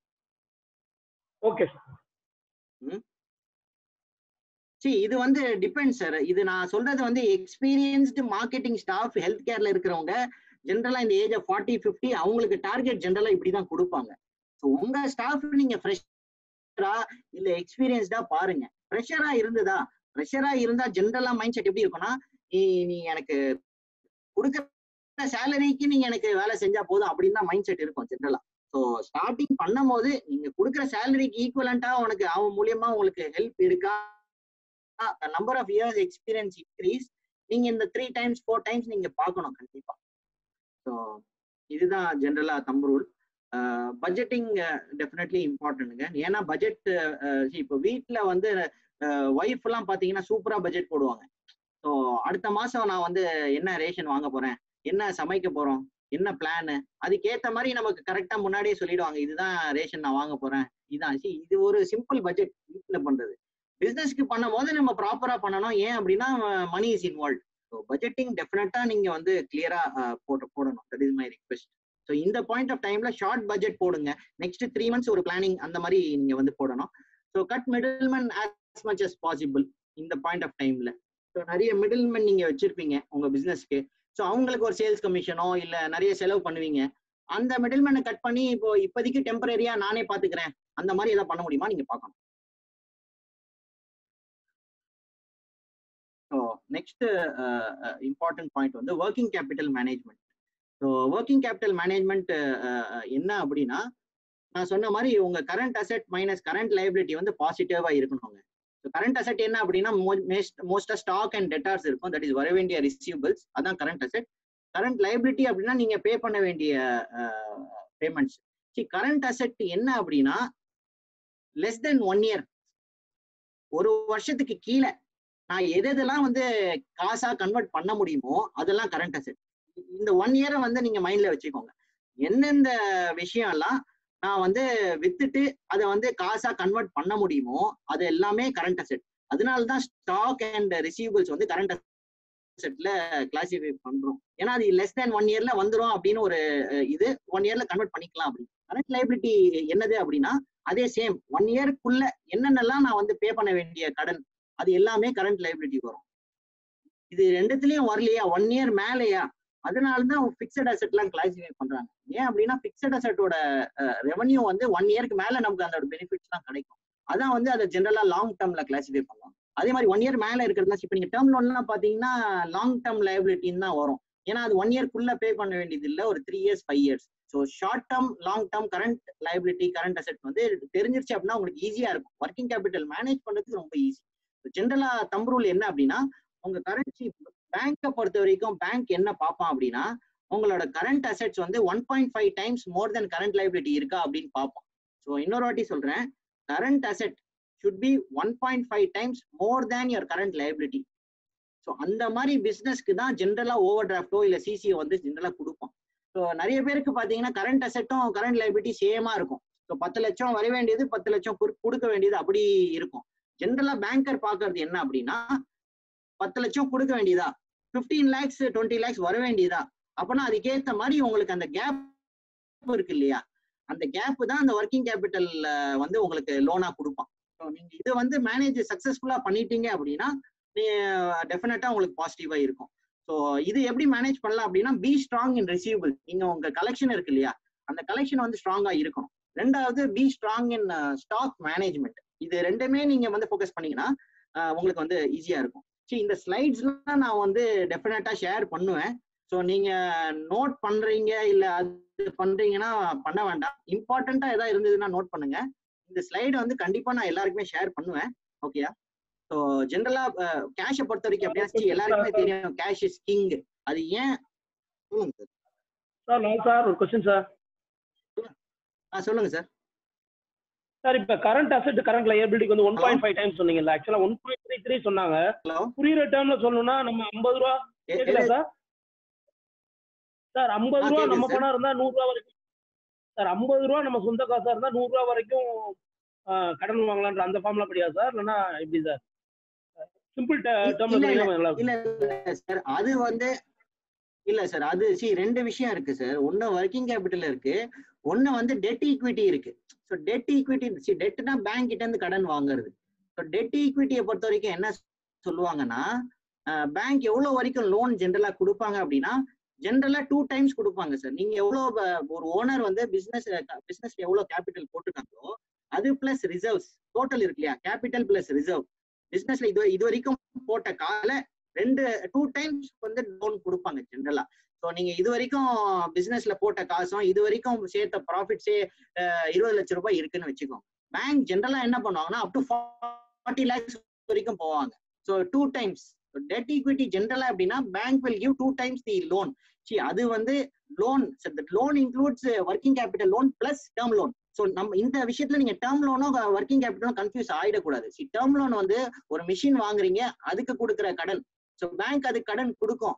ஏன் அப்படின்னா அத அப்படியே அந்த அசட்டை செக்யூரிட்டியா வச்சுட்டு அப்படியே கொடுத்துருவாங்க பேங்க் ஸோ அதனால பேங்க் வந்து ஜென்ரலா ஒரு ஓனர் உள்ள உள்ள போட்ட காசு இது வரைக்கும் நீங்க ஒரு பத்து வருஷமா பிசினஸ் பண்றீங்க.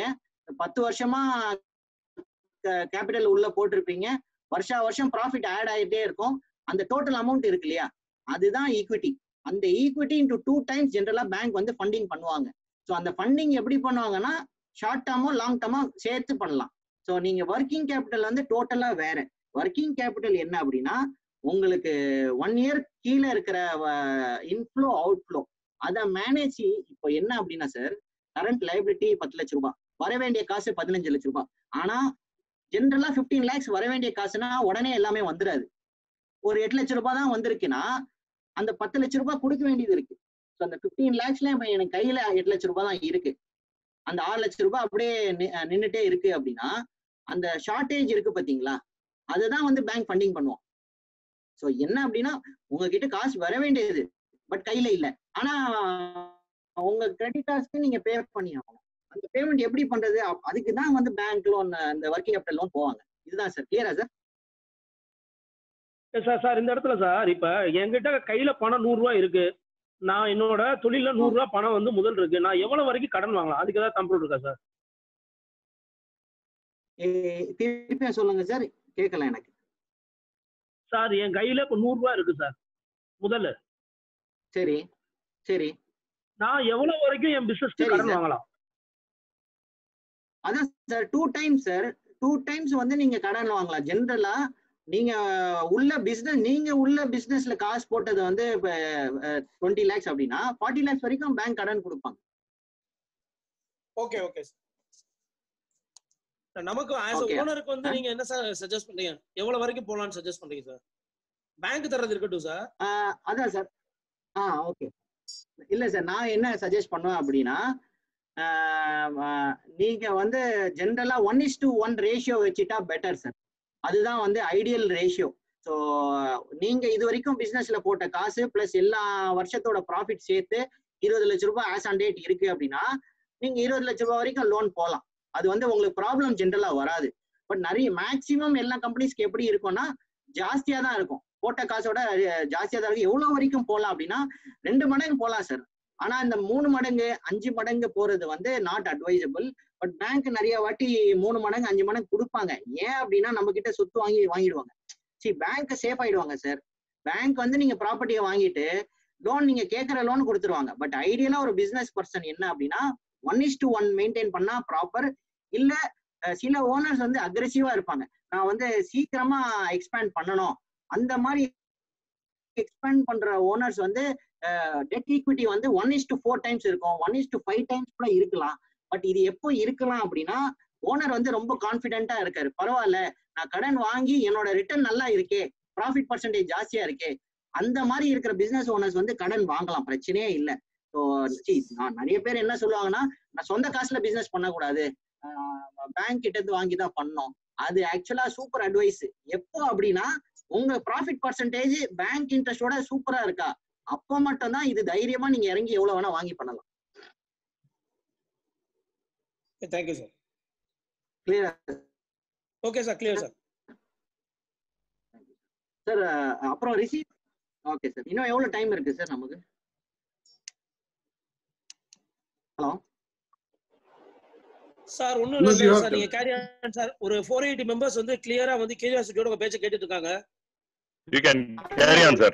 இ- இது என்னன்னா சார் சி எனக்கு வந்து அஹ், பாதி விஷயம் சொல்றது ஆக்சுவலா ஜெனரல் எனக்கு பிடிக்காது. சி அடுத்தவங்க வந்து கிளியரா புரியுற வரைக்கும் சொல்றது தான் என்னோட ஹாபிட் ஜெனரலா ஸோ அதனால தான் கொஞ்சம் எக்ஸ்ட்ரா டைம் எடுத்துக்கிறேன். ரெண்டு ஸ்லைடு எல்லாத்தோட ஓகே ஏன்னா மத்த ரெண்டு ஸ்லைடு வந்து டெஃபினட்டா எல்லாருக்குமே வேல்யூபிளா இருக்கும் சார் அடுத்த ரெண்டு ஸ்லைடு வந்து எல்லாருக்குமே எல்லா பிசினஸ் ஓனருக்கும் இருக்கிற பிரச்சனை இந்த ஸ்லைட்ல நான் கவர் பண்ணியிருக்கேன். என்ன அப்படின்னா என்னோட கலெக்ஷனை நான் வந்து எப்படி மேனேஜ் பண்றது? நம்ம நிறைய ஒர்க்கிங் கேபிட்டல் பேசுறோம். நிறைய ப்ராப்ளம் பிசினஸ்ல வரது என்ன அப்படின்னா வர வேண்டிய காசு கரெக்டான டைம்ல வர மாட்டேங்குது ஆனா கொடுக்க வேண்டிய காசு மட்டும் பக்காவா நம்ம வந்து நம்ம வெண்டார் கேட்டுறாங்க கரெக்டா எல்லாருக்குமே அந்த மைண்ட்ல இருக்கும். Correct sir million dollar question sir ஒரு நானூறு பேர் நானூத்தி ஐம்பது பேர் தான் வெயிட் பண்ணிட்டே இருக்கோம். ஆமா. சோ இந்த கொஸ்டினை வந்து எப்படி சால்வ் பண்றது? நம்ம கலெக்ஷனை எப்படி பக்காவா வச்சுக்கிறது? எப்பவுமே நம்ம பேங்க் பேலன்ஸ்ல எப்ப காசு இருக்கணும்னு தான் எல்லாருக்குமே ஆசை.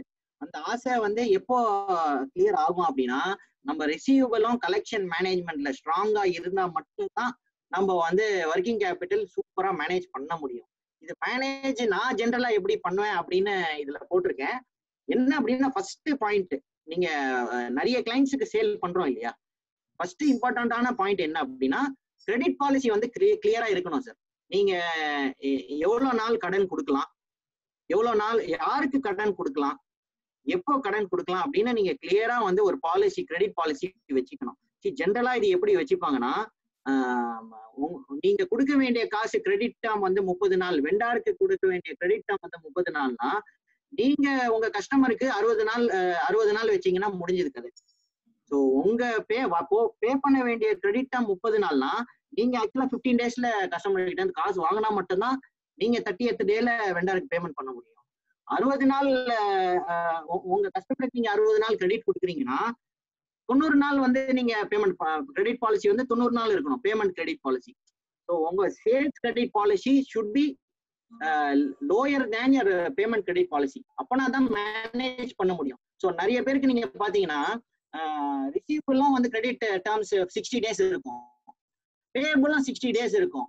பட் ப்ராப்ளம் என்ன நமக்கு வர வேண்டிய காசு எப்பவுமே கரெக்டா டைமுக்கு வரதே இல்லை. ஸோ நீங்க கிரெடிட் பாலிசி வந்து கிளியரா இருக்கணும். ஃபர்ஸ்ட் பாயிண்ட் அதான். ரிசீவபிள் மேனேஜ் பண்றதுல இந்த விஷயத்துல நீங்க கிளியரா இருக்கும் அதே மாதிரி நிறைய பேர் என்ன அப்படின்னா புது கஸ்டமருக்கும் டக்குன்னு கிரெடிட் கொடுத்துருவாங்க.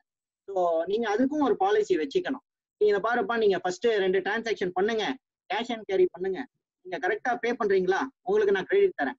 ஸோ கிரெடிட்டும் வந்து எடுத்த உடனே ஃபுல்லா கொடுத்துடக்கூடாது. ஒரு டூ லேக்ஸ் வரைக்கும் நான் கிரெடிட் அலோவ் பண்றேன். ஓகே நீங்க ஒரு ஆறு மாசம் கரெக்டா எனக்கு பேமெண்ட் பண்றீங்களா? சரி உங்களுக்கு நான் கிரெடிட் லிமிட் வந்து நாலு லட்ச ரூபாய் இன்க்ரீஸ் பண்றேன். அப்படிதான் நீங்க இன்க்ரீஸ் பண்ணாமே தவிர எடுத்த உடனே நீங்க வந்து கிரெடிட் கொடுத்துடக்கூடாது எல்லாருக்குமே. அந்த பாலிசி நீங்க வந்து கிளியரா இருக்கும் ஏன்னா நமக்கு பேக்ரவுண்ட் தெரியாது. சி நிறைய பேர் எப்படி பண்ணுவாங்க அப்படின்னா கரெக்டா நாலு இன்வாய்ஸ்க்கு பக்காவா பேமெண்ட் பண்ணிட்டே இருப்பாங்க. திடீர்னு பாத்தீங்கன்னா ஒரு அஞ்சாவது இன்வாய்ஸ் அப்படியே பெரிய இன்வாய்ஸா இருக்கும். அது அப்படியே ஆறு மாசம் பிளாக் பண்ணிடுவோம். இதெல்லாம் என்ன எதனால நடக்குது அப்படின்னா நம்ம வந்து டக்குன்னு எல்லாருக்குமே நம்பிட்டு நாலு மாசத்தை பக்காவா பே பண்ணிருக்கானே. அவனுக்கு கிரெடிட் கொடுத்தான் அப்படின்னு கொடுத்துறோம் கரெக்டா அவன் அது பார்த்து பல்க் பேமெண்ட் வந்து நிக்கும். இந்த கிரெடிட் பாலிசி நீங்க டெஃபினட்டா கிளியரா ரெண்டாவது நீங்க உங்க பேமெண்ட் ஃபாலோ பண்றீங்க இல்லையா? அது வந்து ரொம்ப கிளியரா இருக்கணும். நான் எப்போ ஒரு கஸ்டமருக்கு ஃபாலோ பண்ணணும் எப்போ பண்ணணும் எப்படி பண்ணணும் இது வந்து நீங்க கிளியரா இருக்கணும். நிறைய பேர் என்ன அப்படின்னா முப்பதாவது நாள் மாசத்துல முப்பது கடைசி கடைசி நாள்ல வந்து நம்ம ஜென்ரலா முடிச்சுப்போம். ஐயோ பேங்க்ல காசு இல்லையே. நான் வந்து அஞ்சாம் தேதி சேலரி பேமெண்ட் பண்ணோமே. அப்போதான் நம்ம அந்த கடைசி நேரத்துல தான் நம்ம ஓடுவோம். பேமெண்ட் கலெக்ஷனுக்கு ஓடுவோம். நம்ம கிளைண்ட்டை தேவையில்லாம ப்ரெஷர் பண்ணுவோம். சரி எனக்கு பேமெண்ட் அர்ஜென்ட்டா வேணும் கொடுங்க அப்படின்னு. பட் நீங்க ஆக்சுவலா என்ன பண்ணோம் அப்படின்னா ஒரு கிளியரா ரிசீவபிள் ஃபாலோ அப் வந்து வீக்லி வீக்லி நீங்க பண்ணணும். இல்ல எவ்ரி த்ரீ டேஸ் ஒன்ஸ் நீங்க பண்ணணும். இது உங்களோட சாய்ஸ் நான் ஜென்ரலா எப்படி ஃபாலோ பண்ணுவேன்னா இன்வாய்ஸ் ரேஸ் பண்ணதுல இருந்து ஒரு செவன் டேஸ் நார்மல் டைம் நான் சர்வீஸ் செக்டார்ல இருக்கிறதுனால எனக்கு செவன் டேஸ் நீங்க உங்களோட டேர்ம் தேர்ட்டி இப்போ கூட்ஸா இருக்கீங்கன்னா தேர்ட்டி டேஸ் இருக்கும். ஸோ ஜென்ரலா எப்படி பண்ணணும் அப்படின்னா முப்பதாவது நாள் கிரெடிட் முடியுதா? நீங்க அஞ்சு நாள் முன்னாடி இல்ல ரெண்டு நாள் முன்னாடியே ஒரு மெயில் அனுப்பணும். சார் இந்த நாளைக்கு இன்னும் இன்னும் ரெண்டு நாள்ல உங்களுக்கு பேமெண்ட் டியூ இருக்கு. நீங்க பிளான் பண்ணிக்கோங்க. அப்படின்னு எவ்வளவு பேர் நம்ம மெயில் அனுப்புறோம் சொல்லுங்க. நம்ம எல்லாமே போன்ல பேசிடுறோம். இல்ல சரி நம்ம ஃபாலோ பண்ணி பார்த்துப்பாங்க. காசு வந்துடும் அப்படின்னு ஒரு நம்பிக்கையில தான் இருக்கமே தவிர ஒரு ப்ராப்பர் ஸ்ட்ரக்சர் இல்லை. இந்த பேமெண்ட் எப்படி கலெக்ட் பண்ணோம் எப்போ கலெக்ட் பண்ணோம் நீ போன்ல என்ன பேசணும் இது பேசினாதான் உனக்கு காசு வரும். அந்த அளவுக்கு நம்ம ஜென்ரலா ட்ரைனிங் கொடுக்கணும்.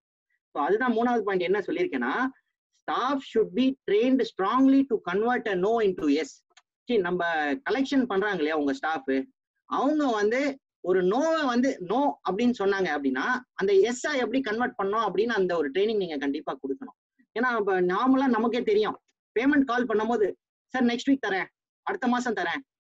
இல்ல ஒரு ரெண்டு மாசம் பொறுத்துக்கோங்க. அப்படின்னு நம்ம நிறைய கேட்டிருக்கோம் கரெக்டா பட் உங்க கலெக்ஷன் ஸ்டாஃப் இல்ல நீங்க ஜென்ரலா எப்படி இருக்கணும்னா இந்த மாதிரி நான் அடுத்த மாசம் தரேன் ரெண்டு மாசம் அப்புறம் தரேன்னு சொல்லும் போது நம்ம என்ன பேசினா அவ்வளோ டிலே பண்ண மாட்டாங்க. அப்படின்னு அந்த ட்ரைனிங் டெஃபினட்டா அந்த communication should be very straight and clear இல்ல சார் நான் ஆல்ரெடி இந்த மாதிரி டிலே ஆயிடுச்சு. எனக்கு நீங்க இந்த வீக் கொடுங்க. சரி நிறைய ப்ராப்ளம் கலெக்ஷன்ல என்ன அப்படின்னா நீங்க கஸ்டமர் கிட்ட எந்த டேட் நீங்க கொடுப்பீங்கன்னு கேட்டு வாங்குறதே இல்லை. ஏன்னா ஒன்ஸ் நீங்க எந்த டேட்ல காசு கொடுப்பீங்க அப்படின்னு கேட்டீங்கன்னா ஒரு ஒரு ஹோல்டு இருக்கும் ஒரு அக்கௌண்டபிலிட்டி இருக்கும். சரி அவனுக்கே ஒரு மனசுல இருக்கும். ஐயோ நான் வந்து அஞ்சாம் தேதி கொடுக்குறேன்னு சொல்லிட்டேனே. அப்ப அஞ்சாம் தேதி கொடுப்பாங்க ஜென்ரலா ஜென்ரலா ப்ராக்டிஸ் என்ன அப்படின்னா நீங்க வந்து டேட் வந்து கஸ்டமர் கிட்ட கேட்டு வாங்கணும். சார் நீங்க எப்போ பேமெண்ட் பண்ணுவீங்க? அப்படின்னு டேட் கண்டிப்பா உங்க கலெக்ஷன் ஸ்டாஃப் வந்து வாங்கிட்டு அந்த டேட்டுக்கு கரெக்டா கால் பண்ணீங்க அப்படின்னா டெஃபினட்டா உங்க பேமெண்ட் கலெக்ஷன் வந்து மாற ஆரம்பிக்கும். ஸோ ஒரு ஸ்டாஃப் வந்து நோவை எப் எப்படி எஸ்ஸா கன்வெர்ட் பண்ணலாம்? அப்படின்னு ஒரு ட்ரைனிங் கண்டிப்பா இருக்கும் நாலாவது collect part payment instead of full இது என்ன அப்படின்னா நீங்க வந்து சம்டைம்ஸ் கலெக்ஷன் வரலன்னா பார்ட் பேமெண்ட் கலெக்ட் பண்றதுல தப்பே இல்லை. நம்ம நிறைய பேர் என்ன பண்ணுவோம் அப்படின்னா ஒரு ஒரு கஸ்டமர் கிட்ட ஒரு சே நாலு மாசம் காசு வரல. இல்ல ஆறு ஆறு மாசம் காசு வரல அப்படின்னா நம்ம ஃபோன் பண்ணி ஜென்ரலா என்ன சொல்லுவோம்? சார் பேமெண்ட் பண்ணுங்க. ரொம்ப லேட் ஆயிடுச்சு. அப்படின்னு தான் சொல்லுவோம். ஆக்சுவலா நம்ம வந்து அந்த கஸ்டமரோட சுச்சுவேஷன் என்ன தெரிஞ்சுட்டு சார் நீங்க ஒரு லட்ச ரூபாய் தரணும். பரவாயில்ல இப்போதைக்கு ஐம்பதாயிரம் ரூபாய் கொடுங்க. நெக்ஸ்ட் வீக் ஒரு ஐம்பதாயிரம் ரூபாய் கொடுங்க. அப்படின்னு சொன்னீங்கன்னா உங்களுக்கு வர வேண்டிய collection high chances that it will come ஆக்சுவலா காசு வரும். ஏன்னா சரி ஒருத்தரால எல்லாம் ஒரே ஷார்ட்ல பெரிய பேமெண்ட் பண்ண முடியாது. ஸோ உங்களுக்கு ஒரு உங்களை கஸ்டமர் கஸ்டமரை பத்தி தெரிஞ்சது அப்படின்னா நீங்க கஸ்டமர் கிட்ட சொல்லலாம். சார் எனக்கு புரியுது உங்களுக்கு கஷ்டம் இருக்கு. நீங்க எனக்கு ஒரு லட்ச ரூபாய் தரணும். பரவாயில்ல வீக்லி வீக்லி ஒரு இருபத்தஞ்சாயிரம் ரூபாய் கொடுங்க. அப்படின்னு கேட்டா கூட பரவாயில்ல. இல்ல சார் இப்போதைக்கு ஒரு பத்தாயிரம் ரூபாய் கொடுங்க. இல்ல ஐம்பதாயிரம் ரூபாய் கொடுக்குறேன் கொடுங்க. அப்படின்னு கேட்டு வாங்கிட்டா பிரச்சனை இல்லை. சி காசு உள்ள பிசினஸ்ல வர்றது தான் ரொம்ப இம்பார்ட்டன்ட் அது பத்தாயிரம் ரூபாய் வருதோ ஐம்பதாயிரம் ரூபாய் வருதோ அது வந்து டிஃபரன்ஸ் இல்லை. காசு உள்ள வரணும். சரி இப்போ நீங்க இதை சொல்லலை அப்படின்னா காசே வராது. அட்லீஸ்ட் சார் பார்ட் பேமெண்ட் கொடுங்க அப்படின்னு கேட்டா டெஃபினட்டா காசு உள்ள வருமா வராதா? டெஃபினட்டா வரும். ஸோ நீங்க வேற எவர் பாசிபிள் பார்ட் பேமெண்ட் கேளுங்க. தப்பே இல்லை. அதே மாதிரி அடுத்தது கலெக்ட் அட்வான்ஸ் வேற எவர் பாசிபிள் ஸோ இப்போ உங்களுக்கு கேஷ் ஃப்ளோ வந்து இம்ப்ரூவ் பண்ணணுமா? நீங்க அட்வான்ஸ் வந்து கேட்கறதுல தப்பு இல்லை. சரி நீங்க சொல்லலாம். சரி நம்ம இண்டஸ்ட்ரியில எங்க அட்வான்ஸ்லாம் கொடுக்குறாங்க? அப்படின்னு இது வந்து என்ன அப்படின்னா நீங்க நம்மளாம் பண்ணிடுறது இல்ல அந்த இதுல ஜென்ரலா அட்வான்ஸே வாங்க இருக்கும். பட் நீங்க உங்க ப்ராடக்டோ இல்ல குவாலிட்டியோ இல்ல நல்ல சர்வீஸ் கொடுத்தீங்க அப்படின்னா டெஃபினட்டா நீங்க அட்வான்ஸ் உங்க கஸ்டமர்ஸ் வந்து கொடுப்பாங்க. அதுக்கேத்த மாதிரி நம்ம குவாலிட்டி ப்ரொவைட் பண்ணணும். So collect advance whatever possible நீங்க அட்வான்ஸுக்குன்னு ஒரு பாலிசி இருக்கணும். இந்த மாதிரி டிரான்சாக்ஷன்ஸ்லாம் ஒரு இருபது பர்சன்ட் அட்வான்ஸ் வாங்கிக்கோங்க. ஐம்பது பர்சன்ட் அட்வான்ஸ் வாங்கிக்கோங்க. ஸோ அட்வான்ஸ் வாங்கிட்டீங்கன்னா அட்லீஸ்ட் உங்க கேஷ் ஃப்ளோ வந்து இம்ப்ரூவ் ஆகும். அதே மாதிரி give cash discount for immediate payments சரி நம்ம நிறைய பேமெண்ட் நம்ம பார்த்துருப்போம். வெண்டார் என்ன சொல்லுவோம் சார் நீங்க இன்னைக்கு பே பண்ணீங்கன்னா ஒரு ரெண்டு பர்சன்ட் நான் கேஷ் டிஸ்கவுண்ட் கொடுத்துட்றேன் அப்படின்னு சொல்லுவோம் கரெக்டா பட் அது ஏன் ரெண்டு பர்சன்ட் கொடுக்குறாங்கன்னு நிறைய பேருக்கு தெரியாது. ஸோ ரெண்டு பர்சன்ட் மாசத்துக்கு அப்படின்னா வருஷத்துக்கு இருபத்தி நாலு பர்சன்ட் கரெக்டா அந்த இருபத்தி நாலு பர்சன்ட் கணக்கு என்ன அப்படின்னா நார்மலா ஒரு பிசினஸ் ஓனர் பிசினஸ் பண்ணாருன்னா இருபது டு இருபத்தஞ்சு பர்சன்ட் ப்ராஃபிட் எதிர்பார்ப்பாரு ஸோ அந்த கணக்கை வச்சு தான் இந்த ரெண்டு percent per month cash discount கொடுக்குறாங்க. ஏன் அப்படின்னா இன்னைக்கு எனக்கு காசு கொடுத்துட்டீங்கன்னா எனக்கு நான் சேவ் பண்றேன்ல. ஏன்னா நான் இந்த காசை வந்து பிசினஸ்ல போட்டுட்டு திருப்பி ரொட்டேஷன் பண்ணிட்டே இருப்பேன். ஸோ நான் ஒரு ரெண்டு பர்சன்ட் சேவ் பண்றேன் ஆக்சுவலா காசு இன்னைக்கு வந்துருச்சுன்னா எனக்கு மணி பிளாக் இல்லை. ஸோ அந்த மணி பிளாக் இல்லாதனால பரவாயில்ல நான் ரெண்டு பர்சன்ட் கொடுக்குறேன். ஸோ அதனாலதான் நான் என்ன சொல்றேன் இந்த பாயிண்ட் ஆஃப் டைம்ல நீங்க தயவு செய்து டிஸ்கவுண்ட் கொடுத்து கூட பேமெண்ட் வாங்கிடுங்க. தப்பே இல்லை. ஏன்னா money coming in is coming in now is thousand times better than money coming in tomorrow so இன்னைக்கு வ- காசு வந்துருச்சுன்னா அதுதான் முக்கியம். நாளைக்கு வரப்போகுது ஒரு வருஷம் அப்புறம் வரப்போகுது அந்த காசு இஸ் நாட் இம்பார்ட்டன்ட் இப்போதைக்கு. இப்போதைக்கு இன்னைக்கு காசு வருதா? அதுதான் important so cash discount whatever possible payment collect பண்ணோம்னா கேஷ் டிஸ்கவுண்ட் கொடுக்கறதுல தப்பே இல்லைங்க. ஓகே அதான் அந்த டூ பர்சன்ட் கணக்கு. அதுக்கப்புறம் ட்ராக்கிங் டெட்டாஸ் ஏஜிங் ஸோ உங்க வர வேண்டிய ரிசீவபிள்ஸ்லாம் இருக்கு இல்லையா? ஒரு ஒரு கஸ்டமர் கிட்ட இருந்து எவ்வளவு வர வேண்டியது எவ்வளவு நாள் பெண்டிங்கா இருக்கு? ஃபர்ஸ்ட் அது வந்து ஒரு ஓனர் வந்து வீக்லி வீக்லி பார்க்கணும். நிறைய ஓனர்ஸ் வந்து மாசத்துக்கு ஒரு வாட்டி இல்ல மூணு மாசத்துக்கு ஒரு வாட்டி நிறைய காசு பேமெண்ட் பெண்டிங் ஆயிருக்கும் போது தான் அதை வந்து எடுத்து பார்ப்பாங்க. ஐடியெல்லாம் என்ன பண்ணணும் அப்படின்னா வாரம் வாரம் உங்க கஸ்டமரோட லிஸ்ட் ரிசீவபிளோட லிஸ்ட் பார்த்துட்டு அதுக்கேற்ற மாதிரி நீங்க ரிமைண்டர்ஸ் பண்ணி ஃபாலோ பண்ணி வாங்குனீங்க அப்படின்னா டெஃபினட்டா உங்களுக்கு கலெக்ஷன் இம்ப்ரூவ் ஆகும். நம்ம என்ன பண்றோம்னா ஒரு நாலு மாசம் விட்டுறோம். ஸோ அந்த நாலு மாசம் விட்டுட்டோம் அப்படின்னா கஸ்டமரோட சுச்சுவேஷன் மாறிடுச்சுன்னா எல்லாமே ப்ராப்ளம் அதுக்கேற்ற மாதிரி நீங்க டேட்டா சேவிங் கண்டிப்பா பார்க்கணும்.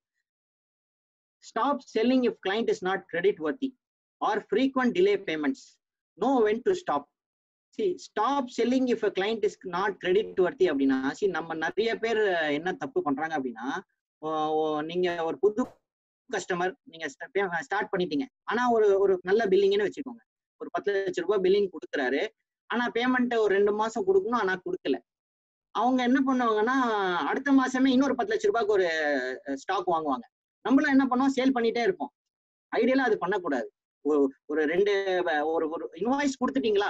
பேமெண்ட் வாங்கிட்டீங்களா? அடுத்த இன்வாய்ஸ் பண்ணுங்க. ஒரு நிறைய வருஷம் அந்த கஸ்டமரோட நீங்க டிராவல் பண்றீங்க. அவர் ப்ராப்பரா பேமெண்ட் பண்றாரு. பரவாயில்ல இந்த பேமெண்ட் டிலே பண்ணாலும் அடுத்த பேமெண்ட் கொடுத்துருவாரு. அந்த மாதிரி கஸ்டமருக்கு நீங்க வந்து கிரெடிட் கொடுக்கலாம். தப்பே இல்லை. பட் இந்த புது கஸ்டமர்ஸ் இல்ல சில கஸ்டமர் கரெக்டா பே பண்ணாம இருப்பாங்க. அவங்களுக்கு நீங்க மேல மேல சேல் பண்ணிட்டே இருக்கக்கூடாது. அப்படி இருந்ததுன்னா டெஃபினட்டா உங்களுக்கு வந்து ப்ராப்ளம் ஏன்னா என்ன சொல்லுவாங்க அப்படின்னா ஆறு மாசம் மேல ஒருத்தர் கிட்ட இருந்து காசு வரலையா? ஃபிஃப்டி பர்சன்ட் சான்ஸ் அது வராது ஆக்சுவலா அதுதான் கணக்கு. ஸோ நீங்க ஆறு மாசம் விட்டுட்டீங்க அப்படின்னா கண்டிப்பா ப்ராப்ளம் தாங்க. ஸோ கடைசி பாயிண்ட் என்ன அப்படின்னா ninth point is incomplete service as unsatisfied customer நிறைய பிசினஸ்ல ஆக்சுவலா ப்ராப்ளம் வந்து நம்ம கிட்ட தான் கஸ்டமர் ப்ராப்ளம் இல்லை. ஏன் அப்படின்னா ஆஹ் நம்ம ஒரு ஒரு அன்சாட்டிஸ்ஃபைடு கஸ்டமர் கஸ்டமருக்கு நம்ம ஒரு ஒரு சே பத்தாயிரம் ரூபாய் சார்ஜ் பண்ணியிருக்கோம் அப்படின்னா அந்த கஸ்டமருக்கு அந்த வேல்யூ தெரியல. அந்த பத்து லட்ச ரூபாய் நீங்க அந்த பத்தாயிரம் ரூபாய் நீங்க வித்த கூட்ஸோட வேல்யூ அவருக்கு கிடைக்கல. இல்ல சர்வீஸ்க்கு அந்த வேல்யூ கிடைக்கலன்னா தான் அன்சாட்டிஸ்ஃபைடா இருப்பாங்க. ஜென்ரல் அன்சாட்டிஸ்ஃபைடு கஸ்டமர் பேமெண்ட் கொஞ்சம் டிலே பண்ணுவாங்க. ஸோ ஜென்ரலா ஒரு கம்பெனியோட ஃபோக்கஸ் என்ன இருக்கணும்னா எல்லா கஸ்டமரும் நான் வந்து சாட்டிஸ்ஃபை பண்ணுவேன். ஒன் ஆர் டூ கஸ்டமர் ஜென்ரலா பிரச்சனை இருந்தாலும் நோ ப்ராப்ளம் ஸோ நீங்க அந்த கஸ்டமர் ஃபீட்பேக் வாங்கணும். ஒரு கஸ்டமர் சாட்டிஸ்ஃபேக்ஷன் இருக்கா இல்லையான்னு மெஷர் பண்ணணும். ஏன்னா எல்லாருமே என்ன ப்ராப்ளம் பண்ணுவாங்கன்னா எல்லா வேலை வாங்கிடுவாங்க. கடைசியா பேமெண்ட் கொடு கேட்கும் தான் வந்து சொல்லுவாங்க சார் உங்க ஆள் சரியா பண்ணல. நீங்க வந்து இது பண்ணாம விட்டு போயிட்டீங்க. இல்ல எனக்கு நான் சாட்டிஸ்ஃபைடே இல்லை. எப்ப சொல்லுவாங்க அப்படின்னா பேமெண்ட் கேட்கும் போது தான் சொல்லுவாங்க. பட் நீங்க அது அது வரைக்கும் ஏன் வெயிட் பண்றீங்க? வேலை ஒரு முடியுதா? வேலை முடியறதுக்கு முன்னாடியே ஸோ ஸோ பேசிக்லி ஸ்டார்ட்டும் எண்டும் வந்து கரெக்டா நீங்க பாத்துக்கணும் நம்ம எல்லாருமே என்ன பண்ணுவோம்னா ஸ்டார்ட் பண்ணிட்டு விட்டுருவோம். அந்த எண்டிங் வந்து ஃபோக்கஸே பண்றது இல்ல ஒரு ஒரு ஒரு சர்வீஸ் இண்டஸ்ட்ரியில இருக்கீங்க அப்படின்னா இல்ல ஒரு கன்ஸ்ட்ரக்ஷன் இண்டஸ்ட்ரியில இருக்கீங்க அப்படின்னா நீங்க வந்து எண்ட் டு எண்ட் நீங்க வந்து பார்க்கணும். எண்ட்ல எந்த பிரச்சனையும் வரக்கூடாது. ஏன்னா எண்டு தான் இம்பார்ட்டன்ட் அந்த எண்டு நீங்க கிளியரா பண்ணி கஸ்டமர் கிட்ட ஜென்ரலா என்ன பண்ணோம்னா சைன் வாங்கிடுவாங்க. ஒரு ஃபீட்பேக் ஃபார்ம்ல சார் எல்லாமே பக்காவா இருக்கு. சர்வீஸ் எல்லாம் சாட்டிஸ்ஃபைட் அப்படின்னு ஏன் கடைசியில இப்ப சிக்னேச்சர் வாங்குறாங்கன்னா இதுக்காக தான் ஆக்சுவலா இது நீங்க வாங்கிட்டீங்க அப்படின்னா உங்களுக்கு ஆக்சுவலா பேமெண்ட் வந்துடும் நிக்காது. So unsatisfied customer incomplete service இருந்ததுன்னா ஜென்ரலா பேமெண்ட் கலெக்ஷன் ப்ராப்ளம் வரும். நீங்க அதை வந்து செட்ரேட் பண்ணணும். கடைசியா பட் இம்பார்ட்டன்ட் என்ன விஷயம் அப்படின்னா உங்க அக்கௌண்ட்ஸ் வந்து அப் டு டேட் வச்சுக்கணுங்க. நம்ம எல்லாருமே சொல்றோம் சார் என்னால எம்ஐஎஸ் பார்க்க முடியல. பேலன்ஸ் ஷீட்டை ப்ராப்பரா ரைட் பண்ண முடியல. என்ன ப்ராப்ளம்னா உங்க அக்கௌண்டன்ட் வந்து டெய்லி என்ட்ரிஸ் அதுக்கேற்ற மாதிரி கரெக்டா பண்ணிட்டு இன்னைக்கோட டிரான்சாக்ஷன் கரெக்டா ரிஃப்ளெக்ட் ஆகுதா இல்லையா அப்படின்னு அக்கௌண்டிங் அப் டு டேட் இருந்தா மட்டும்தான் நமக்கு வந்து எல்லாமே கரெக்டா இருக்கும். ஸோ கலெக்ஷனை பத்தி அதுதான். ஸ்டாக் மேனேஜ்மெண்ட் இன்னொரு பெரிய ஏரியா வேற எல்லாரோட காசு வந்து இதனாலதான் வந்து பிளாக் ஆகுது. என்ன அப்படின்னா ப்ராப்பர் ஸ்டாக் மேனேஜ் பண்ணல அப்படின்னா இதான் ப்ராப்ளம் வரும். என்ன ப்ராப்ளம் அப்படின்னா உங்க சி இப்போ நான் பார்த்த வரைக்கும் எப்படின்னா எழுபது பர்சன்ட் பிசினஸ் ஓனர்ஸோட டேலியில ஸ்டாக்கே உள்ள கொண்டு வர மாட்டாங்க. ஐட்டம் வைஸ் ஸ்டாக்கே வந்து ரெக்கார்டே பண்ண மாட்டாங்க. அது பண்ணலன்னா என்ன ஆகும் அப்படின்னா என்ன ஸ்டாக் உள்ள வருது என்ன ஸ்டாக் வெளியில போறது அந்த ஐடியாவே கிடைக்காது. அதே மாதிரி ஆடிட்டர்ஸ் ஜென்ரலா என்ன ப்ராப்ளம் ஃபேஸ் பண்றாங்கன்னா இந்த க்ளோசிங் ஸ்டாக் வந்து நம்ம போடுற ஃபிகர் தான். அந்த மாதிரி தான் ஆயிடுச்சு ஆக்சுவலா அதே மாதிரி மேக்சிமம் க்ளோசிங் ஸ்டாக் இந்த ஸ்டாக் வந்து எப்படி இருக்குன்னா பேங்கருக்கு எவ்வளவு தேவை? ஸோ பேங்க் ஏன்னா நம்ம சிசி ஃபண்ட் வாங்கியிருப்போம். ஸ்டாக் அண்ட் டெட்டாஸ் பேஸ் பண்ணி தான் வாங்கியிருப்போம். ஸோ நம்ம கிட்ட ஸ்டாக் பத்து லட்ச ரூபாய் தான் இருக்கும். ஆனா பேங்க் லோனுக்கு நம்ம என்ன பண்ணுவோம்? முப்பது லட்ச ரூபாய் ஸ்டாக்குன்னு இருக்கிற மாதிரி காட்டுவோம். ஆக்சுவலா உள்ள இருக்கவே இருக்காது.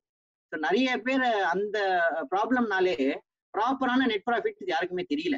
ஏன்னா நம்ம ப்ராப்பரான ஸ்டாக் ரெக்கார்டே பண்றது இல்லை உள்ளே ட்ராக்கே பண்றது இல்லை so start tracking your stock in accounts அடுத்த ஸ்டாக் ஆர்டர் ஆர்டரிங் சிஸ்டம் இருக்கணும். நம்ம ஸ்டாக் கூட்ஸ் ஆர்டர் பண்றோம் இல்லையா? பர்ச்சேஸ் பண்றோம் இல்லையா? அதை வந்து நீங்க ஒரு சிஸ்டம் இருக்கணும். எப்போ ஆர்டர் பண்ணணும்? எவ்வளோ ஆர்டர் பண்ணணும்? எ- எ- எவ்வளோ ஸ்டாக்குக்கு கீழே இருந்தா இவ்வளோ ஆர்டர் பண்ணலாம்? அந்த மாதிரி சிஸ்டம் வந்து நீங்க உள்ள கொண்டு வந்தாதான் தேவையில்லாத எக்ஸஸ் ஸ்டாக் வந்து உங்க கையில இருக்காது. நிறைய பேர் என்ன பண்ணுவோம்னா நிறைய வாங்கி வச்சிருவோம். விற்கலாம் அப்படின்னு. ஆக்சுவலா பாத்தீங்கன்னா நிறைய பேருக்கு நிறைய மாடல் விற்கவே வைக்காது நிறைய ஸ்டாக் அப்படியே வந்து குடவுன்ல கிடக்கும். சில பேர் எப்படின்னா ரெண்டு வருஷம் மூணு வருஷம் பழைய ஸ்டாக் அப்படியே வச்சிருப்பாங்க. அதெல்லாம் என்ன பொறுத்த வரைக்கும் அதெல்லாம் ஒரு கிரைம் டெஃபினட்டா ஒரு கிரைம் அது ஏன் நான் சொல்றேன்? So don't block your money into inventory மூணாவது credit policy for purchase so இது நான் முன்னாடியே சொல்லியிருக்கேன் இல்லையா? ஸோ உங்க கிரெடிட் பாலிசி ஃபார் பர்ச்சேஸ் எப்படி இருக்கும்னா should be half year sales credit so உங்க சேல்ஸ் கிரெடிட் நீங்க அறுவ அறுபது நாள் கொடுக்குறீங்க அப்படின்னா உங்களுக்கு பர்ச்சேஸ் வந்து நைன்டி டேஸோ இல்லை ஒன் டுவெண்ட்டி டேஸ் அப்படிதான் இருக்கணும். ஸ்டாக்கை பொறுத்த வரைக்கும் இன்னொரு இம்பார்ட்டன்ட் பாயிண்ட் வந்து ஸ்பீட் ஆஃப் டிரான்சாக்ஷன் சி இப்போ இந்த சூப்பர் மார்க்கெட்லாம் நீங்க பாத்தீங்கன்னா பியூட்டிஃபுல்லா ஸ்டாக் மேனேஜ் பண்ணுவாங்க.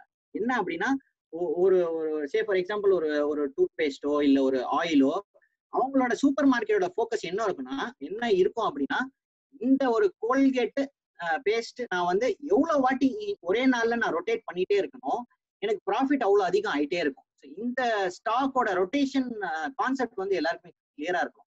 நீங்க வந்து கையில இருக்கிற ஸ்டாக்கு எவ்வளவு ஃபாஸ்டா நீங்க சேல் பண்ணி purchase sale purchase sale purchase பண்ணிட்டே இருக்கீங்களோ அந்த ரொட்டேஷன் ஃபாஸ்டா இருந்ததுன்னா உள்ள பிசினஸ்ல காசு ஃபாஸ்டா வரும் வெளில போகும். ஸோ ஒரே நாள்ல நீங்க ஒரு பத்து product வித்தீங்கன்னா that is always better than ஒரே நாள்ல ஒரே ஒரு ப்ராடக்ட் விற்கிறது அதோட கண்டிப்பா அதை நீங்க வந்து பார்க்கணும். So stock rotation should be high very very important speed of transaction so நான் ஜென்ரலா என்ன சொல்லுவேன் அப்படின்னா இன்னைக்கு ஒரு பொருளை வித்துட்டீங்களா? இன்னைக்கே உடனே இன்வாய்ஸ் போயிட்டு எல்லாமே கரெக்டா இருக்கணும். நிறைய பேர் என்ன பண்ணுவாங்கன்னா ப்ராடக்ட்டை வித்துருவாங்க. ஒரு நாலு நாள் கழிச்சிட்டு இன்வாய்ஸ் அனுப்புவாங்க. இன்னொரு பத்து நாள் கழிச்சிட்டு இன்வாய்ஸ் அனுப்புவாங்க. இல்ல இன்னும் மோசம் கிளைண்டே கேட்பாங்க சார் நீங்க இன்வாய்ஸே அனுப்பலையே சார் அப்படின்னு. ஸோ இந்த மாதிரி கேசஸ்ல வந்து நீங்க இன்வாய்ஸும் வந்து நீங்க பண்ற சர்வீஸ் வந்து ஃபாஸ்டா இருக்கணும். சார் இது எதுக்காக வந்து கேக்குதா சார்? இது. எதுக்காக வந்து இந்த இன்வாய்ஸ் லேட்டா அனுப்புறோம் அப்படின்னா சார் ஒருவேளை இவன் வந்து தரலனா இதுக்கும் சேர்த்து ஜிஎஸ்டி கட்டணும்ன்ற பயம் தான் சார் இல்ல அது கரெக்ட் தான் சார் ப்ராக்டிக்கல் டிஃபிகல்ட்டி இருக்கு எனக்கு புரியுது. அதான் என்ன பண்ணுவாங்கன்னா ஐம்பது லட்சம் பில்லுனா அவன்கிட்ட இருந்து பணமே வரல. நான் இன்வெஸ்ட் பண்ணிருப்பேன். ஆனா நான் கட்ட வேண்டியது வந்து பதினெட்டு பர்சன்ட் ஒன்பது லட்ச ரூபா நான் கட்டுன்னு சொன்னா அந்த பயத்துல தான் சார் இன்வெஸ்ட் பண்ணாம இருப்போம். உங்க கவனத்துக்காக சொல்றேன் சார் இல்ல இல்ல புரியுது சார் தேங்க்யூ ஸோ கடைசி பாயிண்ட் வந்து என்னன்னு sir do not keep non moving stock so நிறைய பேர்கிட்ட வந்து எட்டு மாசமா ஸ்டாக் கையில இருக்கு விற்கல ஒரு ரெண்டு வருஷமா ஸ்டாக் இருக்கு விற்கல அப்படின்னா நான் ஜென்ரலா என்ன சொல்லுவேன் அப்படின்னா நீங்க மூணு மாசம் ஆறு மாசம் மேல ஸ்டாக் வச்சீங்கன்னா டெஃபினட்டா உங்களுக்கு ப்ராப்ளம் தான். ஏன் சொல்றேன் அப்படின்னா இன்னைக்கு ஒரு நூறு ரூபாய்க்கு ஒரு பொருள் வாங்கியிருக்கீங்க அப்படின்னா ஒரு வருஷம் அப்புறம் அந்த பொருளோட வேல்யூ ஏறுதுன்னா அந்த அந்த ப்ராடக்ட் பிரச்சனை இல்லை. இப்போ நீங்க இந்த டிம்பர் இல்ல மத்த ஸ்பைஸ் எல்லாம் எடுத்துட்டீங்கன்னா நீங்க எவ்வளவுக்கு எவ்வளவு ஸ்டோர் பண்றீங்களோ அவ்வளவுக்கு எவ்வளவு ரேட் ஏறும். நான் அந்த ப்ராடக்ட்ஸை பத்தி பேசல. நான் நார்மலா ஒரு கூட்ஸ் பத்தி பேசுறேன். நார்மலா உங்களுக்கு ரெண்டு மாசம் ரொட்டேஷன் டைம் அப்படின்னா ஒரு நாலு மாசம் ஆறு மாசம் வச்சுக்கலாம் ஸ்டாக் அதுக்கு மேல தயவு செய்து உங்க ஸ்டாக்கை வந்து வச்சுக்காதீங்க. ஏன் அப்படின்னா அந்த ஸ்டாக் உங்க கையில இருந்ததுன்னா கன்வெர்ட் பண்ணா மட்டும்தான் காசு உங்களுக்கு உள்ள வரும். அதுதான் வந்து அது கரண்ட் அசெட் தட் இஸ் ஆறு மாசத்துல நீங்க அதை வித்துட்டு காசு பண்ணியே ஆகணும். ஏன் அப்படின்னா நீங்க டிலே எவ்வளோக்கு எவ்வளவு பண்றீங்களோ உங்களுக்கு பிசினஸ்ல உள்ள காசு அந்த- அந்த அதுக்கு ஏத்த மாதிரி வரவே மாட்டேங்குது. ஸோ நீங்க என்ன பண்ணீங்கன்னா பர்ச்சேஸ் பண்ணி வாங்கிட்டீங்க. ஸோ பர்ச்சேஸ் பண்ணும்போது செலவு பண்ணிட்டீங்க இல்லையா? ஸோ உங்க ம- உங்க மணி வந்து ஸ்டாக்ல பிளாக் ஆயிடுச்சு.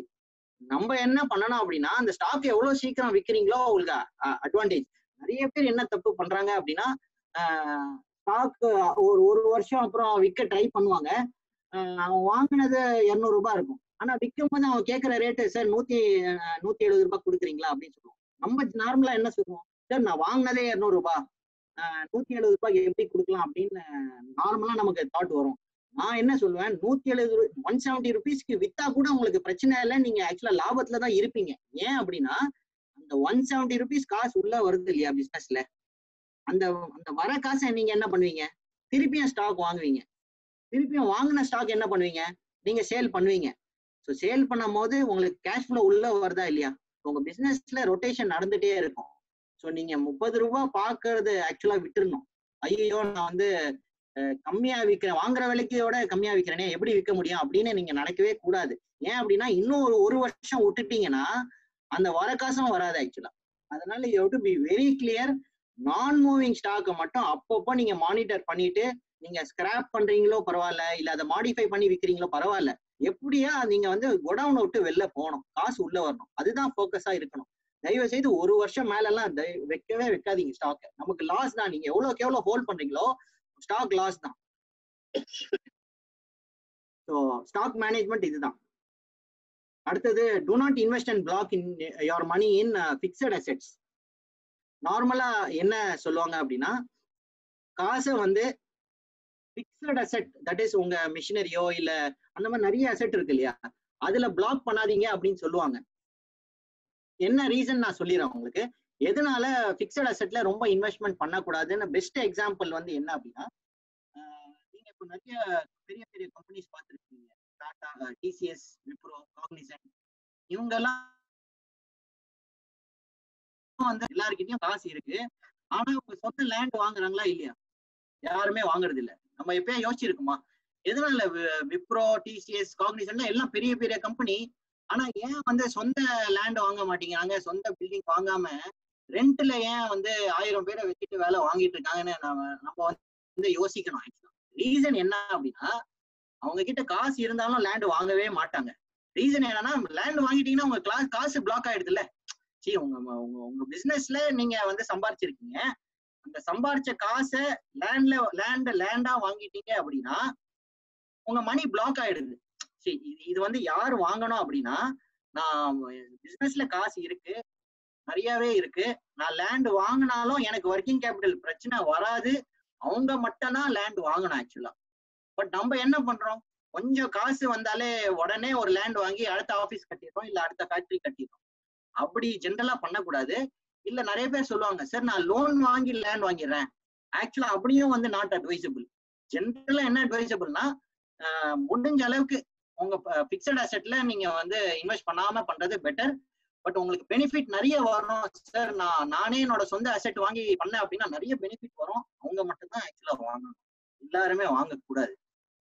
ஸோ இதுக்கு பெஸ்ட் எக்ஸாம்பிள் வந்து ஓலா ஸ்விக்கி அண்ட் ஓயோ நம்ம எல்லாருக்குமே தெரியும். ஓலா பத்தி தெரியும். ஸ்விக்கிய பத்தி தெரியும் ஓயோவை பத்தி தெரியும். இவங்களோட பியூட்டி என்ன அப்படின்னா ஓலா ஓலா எடுத்துக்கோங்க. ஓலா வந்து என்ன பிசினஸ்ல இருக்காங்கன்னா டாக்ஸி பிசினஸ்ல இல்ல ஆக்சுவலா நம்ம எல்லாருமே நினைக்கிறோம் ஓலா வந்து டாக்ஸி ஓட்டுறாங்க அதனால டாக்ஸி பிசினஸ் அப்படி இல்ல ஓலா வந்து எப்படின்னா அவங்க வந்து ஒரு டெக்னாலஜி பிசினஸ்ல இருக்காங்க. அவங்க என்ன பண்ணிருக்காங்க அப்படின்னா ஒரு டெக்னாலஜி கிரியேட் பண்ணி டிரைவர்ஸ் நீங்க பாத்தீங்கன்னா ஓலாவோட கா ஓலா ஓலாது வந்து எந்த காரும் ஓலாது இருக்காது. அவங்க காசு போட்டு எல்லாருக்கும் கார் வாங்கி கொடுத்து டிரைவரை போட்டு யாருமே ஓட்டல ஓலா ஆக்சுவலா ஓலா மாடல் என்ன அப்படின்னா அவங்க டிரைவர்ஸ் தனியா இருக்காங்க. அவங்க அவங்க கிட்ட அவங்க அவங்க கார் இருக்கு.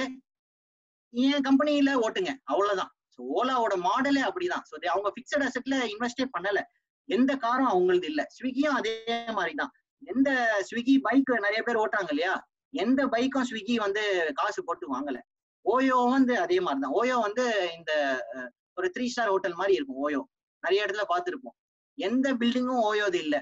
அவங்க சொந்த பில்டிங் எதுவுமே இருக்காது. இதெல்லாம் வந்து ஸ்மார்ட் பிசினஸ் இது பேர் வந்து asset light model asset light மாடலுங்கிறது என்ன அப்படின்னா நம்ம பிக்சட் அசெட்ல ரொம்ப காசு போடாம மேக்சிமம் சேல்ஸ் எப்படி பண்ணலாம் அப்படின்னு பண்றது தான் வந்து அசெட் லைட் மாடல் ஸோ எல்லாருமே இதை வந்து ஃபோக்கஸ் பண்ணி ஆகணும். அதே மாதிரி எங்கெங்க அவுட் சோர்ஸ் பண்ண முடியும் நீங்க அவுட் சோர்ஸ் ட்ரை பண்ணி பாருங்க. ஏன்னா இப்போ ஹுண்டாய் எடுத்துக்கோங்க. ஹுண்டாய் நம்ம நினைக்கிறோம் ஹுண்டாய் கார் இருக்கு இல்லையா? ஆக்சுவலா ஹுண்டாய் எல்லாத்தையும் ஹுண்டாய் பண்றது இல்ல எதுவுமே ஹுண்டாய் பண்றது இல்ல எல்லா பார்ட்ஸும் வந்து வெளியில ஒரு மேனுஃபேக்சரிங் கிட்ட ஒரு ஆயிரம் மேனுஃபேக்சரர்ஸ் கிட்ட அவுட் சோர்ஸ் பண்ணிடுறாங்க. அவங்க எதுல ஸ்பெஷலிஸ்ட்னா அந்த டெக்னாலஜி ஹுண்டாய் வந்து அவங்களோட டெக்னாலஜி இன்ஜின் வந்து அவங்க கண்ட்ரோல்ல இருக்கு. மத்த எல்லாமே இந்த டோரு இந்த டயரு எல்லாமே அவுட் சோர்ஸ் பண்ணிடுறாங்க. அது அவங்களோட பிசினஸ் மாடல் ஸோ நீங்க பாருங்க. நம்ம ஜென்ரலா என்ன நினைப்போம்? எல்லாமே நான் பண்ணணும். எல்லாமே என் கண்ட்ரோல்ல இருக்கணும் அப்படின்னு பார்ப்போம். பட் நார்மலா எஸ்லயே நம்ம கேள்விப்பட்டிருக்கோம். Focus should be inch wide mile deep உங்க கோர் கோர் பிசினஸ்ல மட்டும் நீங்க ஃபோக்கஸ் பண்ணணும். எல்லாத்துலயும் பண்ணக்கூடாது. அவுட் சோர்ஸ் பண்ணா இன்னும் பெட்டரா இருக்கும். So lease option hire option rental option இந்த டைம்ல வந்து அட்வைசபிள் இப்போ நீங்க நாளைக்கு ஒரு மிஷின் வாங்க பிளான் வச்சிருக்கீங்க அப்படின்னா நீங்க வாங்கறதுக்கு பதில் ரெண்டலா வாங்கலாம். இல்ல ஒரு லீஸா வாங்கலாம். லீசிங் கம்பெனிஸே நிறைய இருக்கு. எப்படின்னா சப்போஸ் ஒரு ஒரு இருபது லட்ச ரூபாய்க்கு ஒரு மிஷின் வாங்கணும் இம்போர்ட் பண்ணோம் சைனால இருந்து அப்படின்னா நீங்க இப்ப புதுசா வாங்கணும்னு அவசியம் இல்லை. நீங்க இந்த லீசிங் கம்பெனி கிட்ட சொன்னீங்க அப்படின்னா அவங்க ஒரு பத்து வருஷம் லீஸ் பேசிஸ்ல அந்த மிஷின் உங்களுக்காக அவங்க வாங்கிடுவாங்க. வாங்கி உங்களுக்கு கொடுத்துருவாங்க. நீங்க மாசம் மாசம் லீஸ் ரெண்டல் பே பண்ணா போதும். அந்த மாதிரி பிசினஸ் மாடல் நிறைய பேர் பார்ப்போம் இந்த எண்ட் கணக்கு என்ன அப்படின்னா மணியே பிளாக் ஆகக்கூடாது. ஸோ உங்க பிசினஸ் நாளைக்கு வந்து எஃபெக்ட் ஆகக்கூடாது. அதனால தான் இந்த மாடல்லாம் வந்து definitely advantage so capital budgeting நீங்க கண்டிப்பா பண்ணணும். ஒரு அசெட் வாங்குறீங்க அப்படின்னா கேபிட்டல் பட்ஜெட்டிங் டெஃபினட்டா பண்ணோம் ஏன்னா நம்ம வந்து அந்த அசெட் ஒர்த்தா இல்லையான்னு டெஃபினட்டா பார்க்கணும். சரி நம்ம நினைப்போம் அந்த அசெட் வந்து இருபது லட்ச ரூபாய் தானே. வாங்கிட்டா நமக்கு இன்னும் பத்து வருஷம் லாபம் அப்படின்னு நினைப்போம். பட் அது மூலியமா உங்களுக்கு லாபம் வரலன்னா உங்களுக்கு தெரியாது. ஸோ அடுத்த இம்பார்ட்டன்ட் இது வந்து ஷார்ட் டேர்ம் ஃபண்ட்ஸ் வந்து லாங் டேர்முக்கு யூஸ் பண்ணக்கூடாது. மாத்தி மாத்தி நீங்க வந்து யூஸ் பண்ணக்கூடாது. ஏன்னா பிரச்சனை வரும். சரி நம்ம வந்து ஒரு ஃபைவ் இயர்ஸ்ல இந்த பேமெண்ட்டை கட்டுவேன் அப்படின்னு சொல்லி வாங்கியிருப்போம். ஆனா உடனே நம்ம ஒரு ஒரு பழைய ஜிஎஸ்டி பேமெண்ட்டோ இல்ல எதுக்கோ நம்ம கொடுத்துருக்கோம் இந்த ஷார்ட் டேர்ம் பாரோயிங் வந்து லாங் டேர்முக்கு யூஸ் பண்ணக்கூடாது. லாங் டேர்ம் பாரோயிங் வந்து ஷார்ட் டேர்ம் யூசேஜுக்கு யூஸ் பண்ணக்கூடாது. அது டெஃபினட்டா எல்லாருக்குமே ஒரு கண்ட்ரோல் இருக்கணும். ஸோ இன்னொரு இன்னும் ஒரே ஒரு ஸ்லைடு தான். முடிச்சிடலாம். அடுத்தது வந்து strengthening of your internal controls so ஒரு ஒரு கம்பெனியில நம்ம நிறைய கேள்விப்பட்டிருக்கோம். சார் அக்கௌண்டன்ட் காசு எடுத்துன்னு போயிட்டார் சார் யாரோ காசு திருடிட்டாங்க. இது என்ன ஆச்சுன்னே தெரியாது. கண்டே பிடிக்க முடியல. இல்ல சார் அந்த மாதிரி நிறைய கேள்விப்பட்டிருக்கோம் கரெக்டா இது வந்து எதனால அப்படின்னா உங்க கம்பெனில இன்டர்னல் கண்ட்ரோல்ஸ் வந்து வீக்கா இருக்குன்னு அர்த்தம். ஸோ இது வந்து எப்படி ஸ்ட்ரென்தன் பண்ணுச்சு? எல்லா ஆண்டர்பிரனரும் வந்து எக்ஸ்பேண்ட் ஆக ஆக உங்க இன்டர்னல் கண்ட்ரோல்ஸ் வந்து ஸ்ட்ராங் ஆக்கிட்டே போகணும். இன்டர்னல் கண்ட்ரோல்ஸ் வந்து மூணா ஜென்ரலா பிரிப்பாங்க. Preventive controls detective controls corrective controls see இது வந்து ரொம்ப டெக்னிக்கலா எடுத்துக்காதீங்க. நான் ஒரு சிம்பிளா உங்களுக்கு எக்ஸ்பிளைன் பண்ணிடுறேன். சி ப்ரிவென்டிவ் கண்ட்ரோல்ஸ் என்ன அப்படின்னா ஒரு பிரச்சனை வ- வரக்கூடாது. ஒரு கம்பெனில ஒரு பிரச்சனையே வரக்கூடாது அப்படின்னா சில கண்ட்ரோல்ஸ் எல்லாம் வச்சுப்பாங்க இல்லையா? அதுதான் ப்ரிவென்டிவ் கண்ட்ரோல்ஸ் எக்ஸாம்பிள் ஒரு பாஸ்வேர்டு பாலிசி சி இப்போ பேங்க் இந்த ஓடிபி எல்லாம் எதுக்கு வச்சிருக்காங்கன்னு நினைக்கிறீங்க? இப்போ நம்ம ஏடிஎம் போறோம். இல்ல ஒரு பேமெண்ட் பண்ணோம் அப்படின்னா ஓடிபி நமக்கு வந்து அது ஓடிபி போட்டா தானே பேமெண்ட் ஆகுது. ஏன் அப்படின்னா இது ஒரு ஒரு கண்ட்ரோல் தான். ப்ரிவென்டிவ் கண்ட்ரோல் பிரச்சனை ஆயிடக்கூடாது. வேற யாரோ ஒருத்தன் வந்து யூஸ் பண்ணிட்டு பேமெண்ட் பண்ணிடக்கூடாதுன்னு ஒரு கண்ட்ரோல் தான் வந்து ப்ரிவென்டிவ் கண்ட்ரோல் நிறைய கம்பெனில நீங்க இப்ப பேங்க்லயே பார்த்துருப்பீங்க. ஒரு ஒரு ஒரு பேமெண்ட் பண்ணோம் அப்படின்னா ஒருத்தர் சைன் பண்ணுவாரு இன்னொருத்தர் வெரிஃபை பண்ணுவாரு. ஸோ ஜென்ரலா அந்த மாதிரி செக்ரிகேஷன் பண்ணுவாங்க கம்பெனில இப்போ நான் நிறைய பேர் என்ன பண்ணுவாங்கன்னா அக்கௌண்டன்ட் கிட்டே எல்லாம் பொறுப்பு கொடுத்துருவாங்க. சரி, நீனே அக்கௌண்டிங் போடு நீனே பேமெண்ட் பண்ணு நீனே கலெக்ஷன் வாங்கு அப்படின்னு எல்லாமே கொடுத்துட்டீங்கன்னா கண்டிப்பா ப்ராப்ளம் வரும். ஸோ இந்த ப்ரிவென்டிவ் கண்ட்ரோல்ஸ் நீங்க வந்து வச்சுக்கணும். சரி நீ வந்து எல்லாத்தையும் போடு பட் பேமெண்ட் அவங்க இன்னொரு இன்னொரு பர்சன் பண்ணுவாங்க. ஸோ ரெண்டு பேர் ஜென்ரலா வச்சுக்கணும். இம்பார்ட்டன்ட் விஷயத்துக்கெல்லாம் எப்பவுமே ரெண்டு பேர் வச்சுக்கணும். ஒருத்தர் வந்து பண்ணணும் இன்னொருத்தர் வெரிஃபை பண்ணணும். ஸோ அந்த மாதிரி கண்ட்ரோல்ஸ் தான் ப்ரிவென்டிவ் கண்ட்ரோல்ஸ் அதே மாதிரி எஸ்ஓபி ஒரு எஸ்ஓபி கிரியேட் பண்றீங்க இல்லையா? அதுவே ஒரு நல்ல ப்ரிவென்டிவ் கண்ட்ரோல் அதான் எஸ்ல வந்து நம்ம நிறைய கேள்விப்பட்டிருப்போம். எஸ்ஓபி பண்ணுங்க கேஆர்ஏ கேபிஐ வச்சுக்கோங்க. ஏன் அது சொல்றோம் அப்படின்னா அது ஆக்சுவலா ஒரு ப்ரிவென்டிவ் கண்ட்ரோல் அது ப்ரிவென்டிவ் கண்ட்ரோல் எப்பவுமே பெஸ்ட் ஒரு பிரச்சனையை வந்து கண்டிப்பா அதை ஸ்டாப் பண்ணிடும். பட் நம்ம எல்லாருமே என்ன பண்றோம்னா ஒரு பிரச்சனை வந்ததுக்கு அப்புறம் தான் நம்ம முழிச்சிட்டு ஐயோ இந்த பிரச்சனை வந்துருச்சே இப்போ என்ன பண்ணலாம்? அப்படின்னு தான் நம்ம பண்றோமே தவிர இந்த பிரச்சனை வரவே கூடாதுன்னா நம்ம என்ன கண்ட்ரோல் வச்சுக்கணும்? அதுக்கேத்த மாதிரி நம்ம ஜென்ரலா ஒர்க்கே பண்றது இல்லை. ப்ரிவென்டிவ் கண்ட்ரோல் டெஃபினட்டா எல்லாருமே வந்து ஃபோக்கஸ் பண்ணணும். ரெண்டாவது டிடெக்டிவ் கண்ட்ரோல் இது வந்து என்ன அப்படின்னா ஒரு பிரச்சனை வந்தா வரலாம். அது தடுக்கிறதுக்கு நீங்க கண்ட்ரோல்ஸ் வச்சிருக்கீங்க பாத்தீங்களா? அதான் டிடெக்டிவ் கண்ட்ரோல்ஸ் லைக் இப்போ நம்ம பேங்க் ரிகன்சிலேஷன் பண்றோம். எதனால பண்றோம்னா நமக்கு பிரச்சனை வந்துடக்கூடாது. அதுக்காக பேங்க் ரிகன்சிலேஷன் பண்றோம். அதே மாதிரி நம்ம மார்ச் எண்ட்ல ஸ்டாக் வெரிஃபை பண்றோம் இல்லையா? எதனால பண்றோம்? ஏதாவது ஸ்டாஃப் ஏதாவது எடுத்திருக்காங்களா? இல்ல ஷார்டேஜ் இருக்கா? அதே மாதிரி நம்ம புக்ஸுக்கும் நம்ம பிசிக்கலா ஸ்டாக்குக்கும் டிஃபரன்ஸ் இருக்கா இல்லையா? இந்த மாதிரி கண்ட்ரோல்ஸ்லாம் எதுக்குன்னா டிடெக்டிவ் கண்ட்ரோல்ஸ் கரெக்டிவ் கண்ட்ரோல்ஸ் என்ன அப்படின்னா இந்த இன்சூரன்ஸ் அதே மாதிரி பேக்கப் சிஸ்டம் வச்சிருந்தோம் அப்படின்னா அதெல்லாம் கரெக்டிவ் கண்ட்ரோல்ஸ் தட் இஸ் ஒரு பிரச்சனை ஆயிடுச்சு அப்படின்னா அடுத்தது என்ன பண்ணணும்? அதனாலதான் நம்ம எல்லாருமே இன்சூரன்ஸ் வச்சிருக்கோம். ஒரு ஒரு ஃபயர் வந்துருச்சு அப்படின்னா நமக்கு அந்த நஷ்டத்துக்கு காசு வரணும் இல்லையா? ஸோ அதெல்லாம் வந்து கரெக்டிவ் கண்ட்ரோல்ஸ் ஸோ இன்சூரன்ஸ் போட்டா மட்டும் எல்லாம் பிரச்சனை போயிடும் அப்படின்னு சொல்ல முடியாது. இன்சூரன்ஸ் வந்து ஒரு எல்லாம் முடிஞ்சதுக்கு அப்புறம் பிரச்சனை எல்லாம் வந்ததுக்கு அப்புறம் நமக்கு ஒரு சேஃப்டிக்காக நம்ம இன்சூரன்ஸ் எடுத்து வச்சிருக்கோம். ஸோ இது லாஸ்ட் ஃபோக்கஸ் வந்து கரெக்டிவ் கண்ட்ரோல் ஸோ ஃபர்ஸ்ட் நீங்க ஃபோக்கஸ் பண்ண வேண்டியது ப்ரிவென்டிவ் நம்மளால ப்ரிவென்டிவ் கண்ட்ரோல் வச்சுக்க முடியலையா? அட்லீஸ்ட் டிடெக்டிவ் கண்ட்ரோல்ஸ் வச்சுக்கோங்க. டிடெக்டிவும் வைக்க முடியலையா? கரெக்டிவாவது வச்சுக்கோங்க. ஏன்னா சி எல்லாருமே கேட்டிருக்கோம் prevention is better than cure ஆக்சுவலா ரீசன் இதுதான். ஸோ ஒரு விஷயத்த நம்ம ப்ரிவென்ட் பண்ணிட்டோம்னா நமக்கு டேமேஜ் கம்மி. நம்ம ப்ரிவென்ட் பண்ணாம அந்த டேமேஜ் அப்படியே கண்டினியூ ஆயிட்டே போச்சு அப்படின்னா நமக்கு டேமேஜ் ஜாஸ்தி ஆயிட்டே போகும். So, நம்ம எல்லாருமே அந்த மோட்ல தான் இருக்கணும்.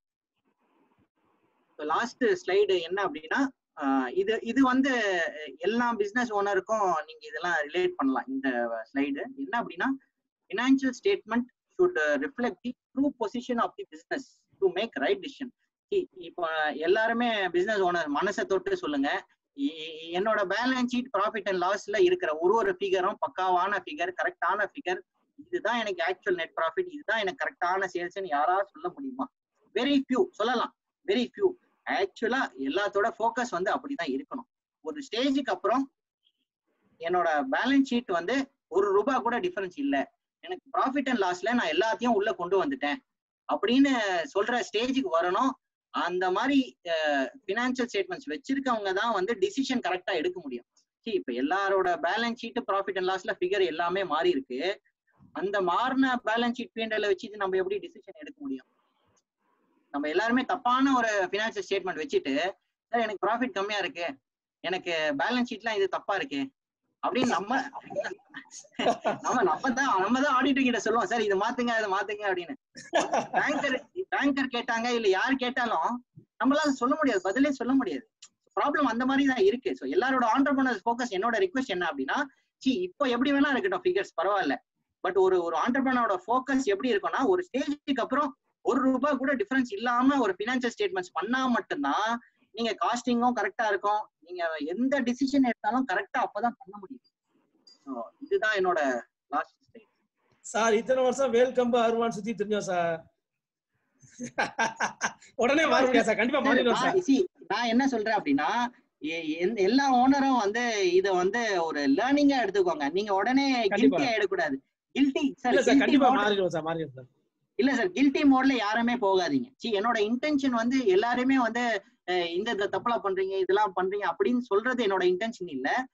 இதெல்லாம் வந்து தப்பு இருக்கு அப்படின்னா இனிமே அதை ரெக்டிஃபை பண்ணி ப்ராப்பரா வச்சுக்கோங்க. சரி இதுக்கு வந்து டென்ஷன் ஆக வேண்டாம். ஐயோ இது இவ்வளவு சொல்றாங்க நமக்கு எதுவுமே மேட்ச் ஆகலையே அப்படின்னு நீங்க வந்து டென்ஷன் ஆக வேண்டாம்.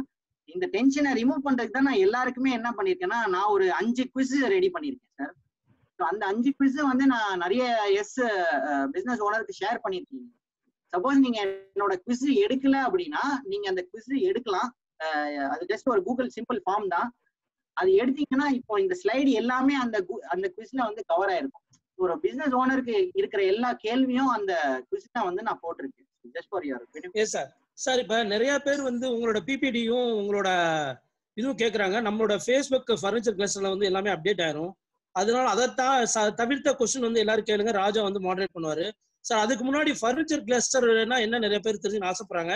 ஒரு சின்ன வீடியோ கிளிப் போடுறோம் சார் பாருங்க sir thank you thank you Amrit sir ஆக்சுவலா இந்த ப்ரோக்ராம் வந்து அம்ரித் சார் பேசும்போது we can finalize in forty five மினிட்ஸ்ல பேசுறேன்னாரு. ஐ திங்க் ஃபார்ட்டி ஃபைவ் மினிட்ஸ்ல எல்லாம் முடியவே இல்லை.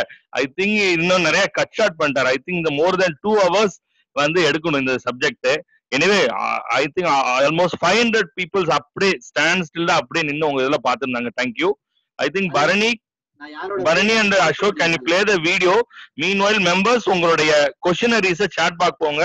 We can extend the meeting up in a fi- half an hour we extend. இன்னொரு half an hour ques- the question will be continued. உங்க question question இது பண்ணுங்க. அந்த வீடியோ ப்ளே பண்ணுங்களேன் ப்ளீஸ் ஃபர்ஸ்ட்ல இருந்து ப்ளே பண்ணிடுங்க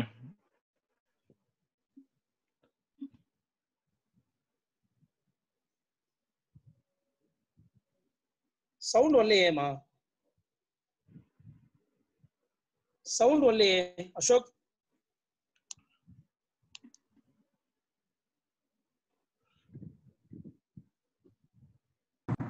Thank you.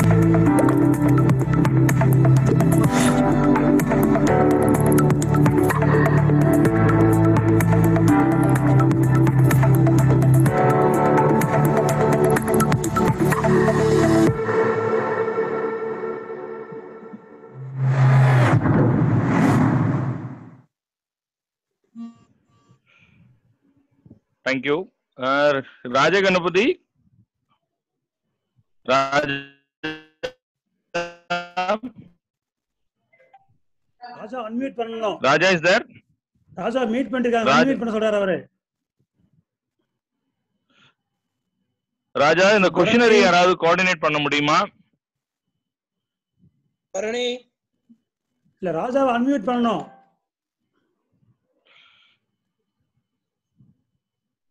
நரேன் கேக்குதா? ஆ, ராஜ கணபதி அன்மியூட் பண்ண. சார். ராஜா கொஞ்சம் கொஸ்டின் கேளுங்களேன் அப்படியே. கொஸ்டின் கோஆர்டினேட் பண்ணுங்க. தேங்க்யூ இல்ல கொஸ்டின் இந்த சென்ஸ் வந்து சார் எல்லாமே வந்து சாட் பாக்ஸ்ல வந்து அவங்களோட இதுதான் கொடுத்துருக்காங்க. கொஸ்டின் எதுவும் இது வரல. இல்ல மெம்பர்ஸ் உங்களுக்கு ஏதாவது கொஸ்டின் இருந்தா ஷோ ஹேண்ட்ஸ் கொடுங்க. அதுல வந்து அவர்கிட்ட டைரக்டா நீங்க அமிர்த ஒரு ஒருத்தர் மோகன் ஒருத்தர் மோகன் ஒருத்தர் கேக்குறாரு. ஹலோ மோகன். மோகன் மோகன். எஸ் ஓகே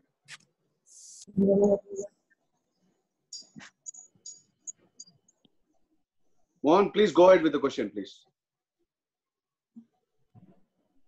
நீங்க ரீட் அவுட் பண்ணிட்டீங்கன்னா பெட்டரா இருக்கும் சார் ஏன்னா ஒருத்தர் ஒருத்தரும் மியூட் பண்ணி அன்மியூட் பண்ணி பேசுறது டெஃபினெட்லி டேக் லாங் டைம் நீங்க இம்பார்ட்டன்ட் கொஸ்டின்ஸ் மட்டும் கன்சாலிடேட் பண்ணி கேட்டீங்கன்னா பெட்டரா இருக்கும். இல்ல யாரும் கொஸ்டின் chat பாக்ஸ்ல எதுவும் கொஸ்டின்ஸ் எதுவும் கேட்கல இல்ல அவங்களோட இண்டிவிஜுவல் கொஸ்டின்ஸ் ரொம்ப ஜென்ரிக்கா இருக்க கொஸ்டின் கேட்டாங்கன்னா என்ன அப்படின்னா நிறைய நான் மெம்பர்ஸ் இருக்காங்க. ஸோ அவங்களுக்கு சில பேசிக் கொஸ்டின்ஸ் கூட இருக்கலாம். ஸோ என்ன அப்படின்னா you can write write a mail to you or me and get the doubts clarified yes yes yes yes sir அதான் உங்களோட டவுட்ஸ் ஏதாவது இருந்துச்சுன்னா நீங்க வந்து இப்ப Amritha just just two three questions அங்க கொடுத்துருக்கிற கொஸ்டின் பண்ணி உங்ககிட்ட கேட்கிறேன் ஏதோ தம் ரூல் இருக்கா? இதுக்கு ஸ்டாக் வந்து சேல்ஸ் வந்து பர் மந்த் நான் கால்குலேட் பண்ண ஏதோ தம் ரூல் மாதிரி ஏதாவது இருக்கா? அப்படின்னு சொல்லி கேட்டிருக்காரு. இது இது ரூல்ல ஸ்டாக்க பொறுத்த வரைக்கும் எப்படின்னா சார் ஒரு ஒரு பிசினஸ்க்கும் மாறும். சில பிசினஸ் வந்து 15 டேஸ் ஸ்டாக் தான் கையில வச்சுப்பாங்க. சில பிசினஸ் வந்து ஒரு மாசம் ஸ்டாக் கையில வச்சுப்பாங்க. மேக்ஸிமம் ஜென்ரலா ரெண்டு மாசம் இருக்கும் சார் ரெண்டு டோட்டல் சேல்ஸோட டூ மந்த்ஸ் சேல்ஸ் மட்டும் ஜென்ரலா ஸ்டாக்கா இருக்கும் கையில. அதுதான் ஜென்ரலா இருக்கும். 15 டு டுவெண்ட்டி பர்சன்ட் அது டோட்டல் சேல்ஸ் ஜென்ரலா ஸ்டாக்கா இருக்கணும். அதுக்கு மேல இருக்காது நார்மலா okay thank you thank you Amrit ஆஹ் இன்னொரு Sir, இது வந்து இன்னொரு ப்ளீஸ் ப்ளீஸ் ராஜா கேபிட்டல் பட்ஜெட்டிங்னா என்னன்னு ஒருத்தர் கேட்டிருக்காரு. ஆமா ஆமா ஆமா ஆமா. அதான் அதான் இந்த கொஸ்டின் தான் கேட்க வந்தேன் ஓகே ஓகே கேபிட்டல் பட்ஜெட்டிங் என்ன அப்படின்னா சார் ஒரு ஜென்ரலா ஒரு ஒரு ஒரு புதுசா ஒரு ஃபேக்டரி கட்டுறீங்க இல்ல புதுசா ஒரு மிஷின் வாங்குறீங்க அந்த மாதிரி பெரிய பெரிய டெசிஷன்ஸ் இருக்கு இல்லையா? அது ஒரு கால்குலேட்டிவா ஒரு ஃபார்முலாஸ் எல்லாம் இருக்கு. என்ன அப்படின்னா இந்த மிஷின் மூலியமா எனக்கு எவ்வளவு காசு உள்ள வரும் அப்படின்னு ஒரு பத்து வருஷத்துக்கு நம்ம இன்ஃப்ளோ வந்து கால்குலேட் பண்ணோம் அதே மாதிரி இப்போ இந்த செலவு வந்து எவ்வளவு இருக்கு? ஸோ இந்த இன்கம் இந்த செலவு இந்த மிஷின் மூலியமா எனக்கு வர வேண்டிய இன்ஃப்ளோவும் இப்போ இந்த மிஷின் வாங்குறதுக்கு பண்ற செலவும் எனக்கு செலவோட எனக்கு வருமானம் ஜாஸ்தியா இருக்கு அப்படின்னா நம்ம வந்து இந்த வாங்கலாம். ஸோ இந்த இதுல ஜென்ரலா என்ன நடக்கும் அப்படின்னா மூணாவது வருஷம் அஞ்சாவது பத்தாவது வருஷத்துல வர இன்கம் டைம் என்ன வேல்யூ பத்து வருஷத்துக்கு அப்புறம் எனக்கு இந்த மிஷின் மூலியமா காசு வருது அப்படின்னா அந்த பத்தாவது வருஷத்துல வர இன்ஃப்ளோவை இன்னைக்கு அதோட வேல்யூ என்ன அப்படின்னு பேக் டேட் பண்ணுவோம். பேக் டேட் பண்ணிட்டு டோட்டல் இன்ஃப்ளோ எவ்வளவு இருக்கு? டோட்டல் அவுட்ஃப்ளோ எவ்வளவு இருக்கு? நம்ம இந்த மிஷின் வாங்கினா லாபமா இல்லையான்னு அப்பதான் டிசைடே பண்ண முடியும். பட் நார்மலா என்ன பண்ணுவோம் அப்படின்னா ஓகே டுவெண்ட்டி லேக்ஸ் நமக்கு ஒரு முப்பது லட்ச ரூபாய் ஐம்பது லட்ச ரூபாய் கண்டிப்பா இந்த மிஷின்ல சம்பாதிச்சிடலாம் அப்படின்னு ஒரு மைண்ட் செட் ஜென்ல அப்படியே வாங்கிடுவோம். அப்படி வாங்கக்கூடாது ஒரு ஒரு ஒன் லேக் டூ லேக் மிஷின்னா பிரச்சனை இல்லை சார் ஒரு ஃபைவ் லேக்னா கேபிட்டல் பட்ஜெட் ஃபைன் இன்னொரு இன்னொருத்தர் கேட்டிருக்கிறது என்னன்னா நான் வந்து பார்ட்னர்ஷிப் ஃபார்மா இருக்கேன். இதுல எல்எல்பி மாத்த சொல்லி என்ன சொல்றாங்க அது வந்து எப்படி எல்எல்பி அண்ட் பார்ட்னர்ஷிப் என்ன டிஃபரன்சியேஷன் ஆக்சுவலா பெரிய டிஃபரன்ஸ் சார் நம்ம நினைக்கலாம் நிறைய பேர் எதுக்கு சும்மாவே பிரைவேட் லிமிடெட் கம்பெனி ஓபன் பண்றாங்க. சும்மாவே ஏன் எல்எல்பி ஓபன் பண்றாங்க? சோல் ப்ராப்பரேட்டர்ல எல்லாமே பண்ணலாமே அப்படின்னு கேட்கிற கேள்வி கரெக்ட் தான். ஏன்னா சோல் ப்ராப்பரேட்லயே தௌசண்ட் க்ரோர்ஸ் மேல டேர்ன் ஓவர் பண்றவங்க இருக்காங்க. பட் பெரிய டிஸ்அட்வான்டேஜ் என்ன அப்படின்னா நீங்க சோல் ப்ரொப்ரைட்டரோ இல்ல நார்மலா ஒரு பார்ட்னர்ஷிப்ல இருந்தீங்க அப்படின்னா நாளைக்கு ஒரு பிரச்சனைன்னு வச்சுக்கோங்க பிசினஸ்ல ஓகே நாளைக்கு ஒரு பிரச்சனை பிசினஸ்ல வந்தது நீங்க வந்து முப்பது லட்ச ரூபாய் கடன் கொடுக்கணும் ஆனா காசே இல்ல பேங்க் அக்கவுண்ட்ல அப்படின்னா இன்கம் டேக்ஸோ இல்ல பேங்கர் என்ன பண்ணுவோம் அப்படின்னா உங்க பர்சனல் சொத்து இருக்கு இல்லையா வீடு உங்க பர்சனல் காரு உங்க நகை இருக்கிறது எல்லாமே அவங்க எடுத்துருவாங்க. உங்க பர்சனல் அசெட்ஸ் எல்லாமே காலி ஆயிடும். நீங்க வந்து சோல் ப்ரொப்ரைட்டரா பார்ட்னர்ஷிப்பா இருந்தோம் அப்படின்னா இது வந்து ஒரு பிரச்சனை ஆகுற கேஸ்ல உங்களால காசு கொடுக்க முடியல அப்படின்னா ஒரு சோல் ப்ராப்பர்ட்டிக்கு என்ன பிரச்சனை வரும் அப்படின்னா உங்க பர்சனல் அசெட் கூட லயபிள் டு பி சோல்டு அதை வித்தாவது நீங்க காசு கொடுக்கணும். வேறஸ் நீங்க LLP private limited company open பண்ணீங்க அப்படின்னா உங்களோட கேபிட்டல் எவ்வளவோ அதுக்கு அந்த அளவுக்கு தான் நீங்க வந்து லைபிலிட்டி இருக்கு. சப்போஸ் நாளைக்கு ஒரு முப்பதாயிரம் தேர்ட்டி லேக்ஸ் வந்து பே பண்ண வேண்டியது இருக்கு. ஆனா நீங்க உள்ள கொண்டு வந்த கேபிட்டல் வெறும் ஒன் லேக் அப்படின்னா பேங்க் உங்ககிட்ட ஒன் லேக் தான் கிளைம் பண்ண முடியும். தேர்ட்டி லேக்ஸ் கொடுங்கன்னு ரைட்ஸே இல்ல பேங்க்குக்கு ஸோ அதுதான் பெரிய டிஃபரன்ஸ் எப்போ பேங்க் கேட்கலாம் பிரைவேட் லிமிடெட் கம்பெனினா ஒரு கிரிமினல் கிரிமினலோ இல்ல ஒரு ஃப்ராட் பண்ணா மட்டும் தான் கேட்கலாம் Raja I want ask one question sir நீங்க பேசும்போது இந்த பிரைவேட் லிமிடெட் கம்பெனிக்கு வந்து இப்ப ஸ்டார்ட் அப் இந்தியாவுல இந்த தடவை வந்து இன்கம் டாக்ஸ் இல்லைன்னு சொன்னீங்க. கேன் யூ அந்த எப்படி நாங்க ஆக்சுவலா we have a private limited company அது என்ன பண்ணணும்? கொஞ்சம் கிளாரிட்டியா thank you start ups India scheme அப்படின்னா கவர்மெண்ட் கொண்டு வந்தது சார் ஒரு மூணு வருஷம் முன்னாடி கொண்டு வந்தாங்க. அந்த ஸ்கீம்ல என்ன சொல்றாங்க அப்படின்னா ஒரு கம்பெனி ஸ்டார்ட் பண்ணி சி சோல் ப்ரொப்ரேட்டா இருக்கலாம் பார்ட்னர்ஷிப்பா இருக்கலாம் பிரைவேட் லிமிடெட் யார் வேணா இருக்கலாம். பட் என்ன கண்டிஷன் அப்படின்னா ஸோ இது இது வந்து எல்எல்பியும் பிரைவேட் லிமிடெடுக்கு தான் sir start up India scheme it's only for LLP private limited sole ப்ரொப்ரேட்டருக்கு இல்ல. என்ன ரூல் அப்படின்னா ஒரு கம்பெனி ஸ்டார்ட் பண்ணி பத்து வருஷத்துக்குள்ள இருக்கா? அவங்கெல்லாம் வந்து இந்த ஸ்டார்ட் அப் இந்தியா ஸ்கீமை வந்து அப்ளை பண்ணலாம். ஸோ ஒரு கம்பெனி ஸ்டார்ட் ஆகி பத்து வருஷம் முடியல அதோட கம்மியா இருக்குன்னா இந்த ஸ்டார்ட் அப் இந்தியா ஸ்கீம் வந்து யூஸ் பண்ணிக்கலாம். யூஸ் பண்ணா என்ன அப்படின்னா அந்த பத்து வருஷத்துல ஏதாவது ஒரு மூணு கன்சிக்யூட்டிவ் இயர்ஸுக்கு நீங்க இன்கம் டேக்ஸ் கட்ட தேவையில்லை அப்படின்னு ஒரு ரூல் தான் start up India scheme but இது எல்லா கம்பெனிஸும் அப்ளை பண்ண முடியாது. இனோவேஷன் எந்த கம்பெனி பண்றீங்களோ அந்த கம்பெனி மட்டும் இந்த ஸ்கீமை வந்து நாங்க தரோம் அப்படின்னு சொல்லியிருக்காங்க. ஸோ நீங்க ஸ்டார்ட் அப் இந்தியா ஸ்கீமை போய் பாருங்க. உங்க கம்பெனிக்கு எலிஜிபிலிட்டி இருக்கா அப்படின்னா நீங்க அப்ளை பண்ணலாம். ஃப்ரீ ஆஃப் காஸ்ட் நிறைய பெனிஃபிட் இருக்கு. அதாவது ட்ரேடிங் இருக்காதுன்னு நினைக்கிறேன். ஒன்லி மேனுஃபேக்சரிங் நீங்க சொல்றீங்க இல்லையா? இல்ல சார் இது வந்து can be any type of business but it should be there they should be into innovation there should be something innovative good thank you thank you sir அந்த costing sheet template கேக்குறாங்க sir. அது அனுப்பிச்சிடலாம் sir. Right ராஜா உங்களோட இது இப்ப mister அம்ரித்தோட PPT அப்புறம் இந்த link எல்லாமே வந்து எங்களோட ஃபர்னிச்சர் கிளஸ்டர் ஃபேஸ்புக் குரூப் இதுல வரும். ஃபேஸ்புக்கோட லிங்க் ஏற்கனவே ஷேர் பண்ணியிருக்கோம். மறுபடியும் ஒரு ஷேர் பண்றோம். ப்ளீஸ் அந்த லிங்க்ல போய் நீங்க எல்லாத்தையும் நீங்க பாத்துக்கலாம் தேங்க்யூ அண்ட் அம்ரித் ஒன்னொரு ஒன்னொரு கொஸ்டின் என்ன கேட்டிருக்காருன்னா எனக்கு அந்த ஜிஎஸ்டி கிரெடிட் வந்து நிறைய இருக்கு. How can I claim the balance in GST அதை பத்தி எப்படி எனக்கு வந்து அது ஆன்சர் பண்ண முடியுமான்னு கேட்டிருக்காரு சார் இப்போ நார்மலா ஜிஎஸ்டி இன்புட் கிரெடிட் நிறைய இருக்கு. நான் ரீஃபண்ட் கிளைம் பண்ண முடியுமா? அப்படின்னா பண்ண முடியாது. ஏன் அப்படின்னா ரன்னிங் பிசினஸ் ஒரு பிசினஸ் ரன் ஆயிட்டே இருக்கு. ஆனா எக்ஸஸ் இன்புட் கிரெடிட் இருக்கு. அப்படின்னா அவங்கெல்லாம் வந்து ரீஃபண்ட்லாம் கேட்க முடியாது. So government will not allow that so நீங்க பிசினஸ் பண்ணிட்டே இருக்கீங்கன்னா you can't claim excess input credit ஒரு பிசினஸ் க்ளோஸ் பண்றீங்க அப்போ எக்ஸஸ் கிரெடிட் இருக்கா? அப்போ மட்டும் தான் நீங்க கிளைம் பண்ண முடியும். First. GST doubt first GST doubt பண்ணிடுவாங்க. சார் எக்ஸஸ் ஏன் இருக்கு? அப்படின்னு. அதான் அதான் அதான் அதான். அண்ட் ஒன் மோர் திங் அவங்க எல்லாத்தோட பெரிய கொஷின் இன்னொரு கொஷின் எனக்கு வந்து பிரைவேட் மெசேஜும் இந்த இதுலயும் வந்து என்னன்னா மினிமம் ஆல்டர்னேட் டாக்ஸ பத்தி சொல்ல முடியுமா? அப்படின்னு கேட்டிருக்காங்க. Sir minimum minimum alternative tax மேட்னு சொல்லுவாங்க. அது வந்து எப்படின்னா பேசிக்லி ஒரு பிரைவேட் லிமிடெட் கம்பெனிஸ்க்கு அந்த ப்ரொவிஷன் இருக்கு. மினிமம் ஆல்டர்னேட்டிவ் டேக்ஸ் சரி அவங்க என்ன சொல்றாங்க அப்படின்னா உங்களுக்கு வந்து கம்பெனிஸ் ஆக்ட்ல என்ன நீங்க கம்பெனிஸ் ஆக்டோட டெப்ரிசியேஷன் கால்குலேஷன் இருக்கும். இன்கம் டேக்ஸ்ல கால்குலேஷன் தனி.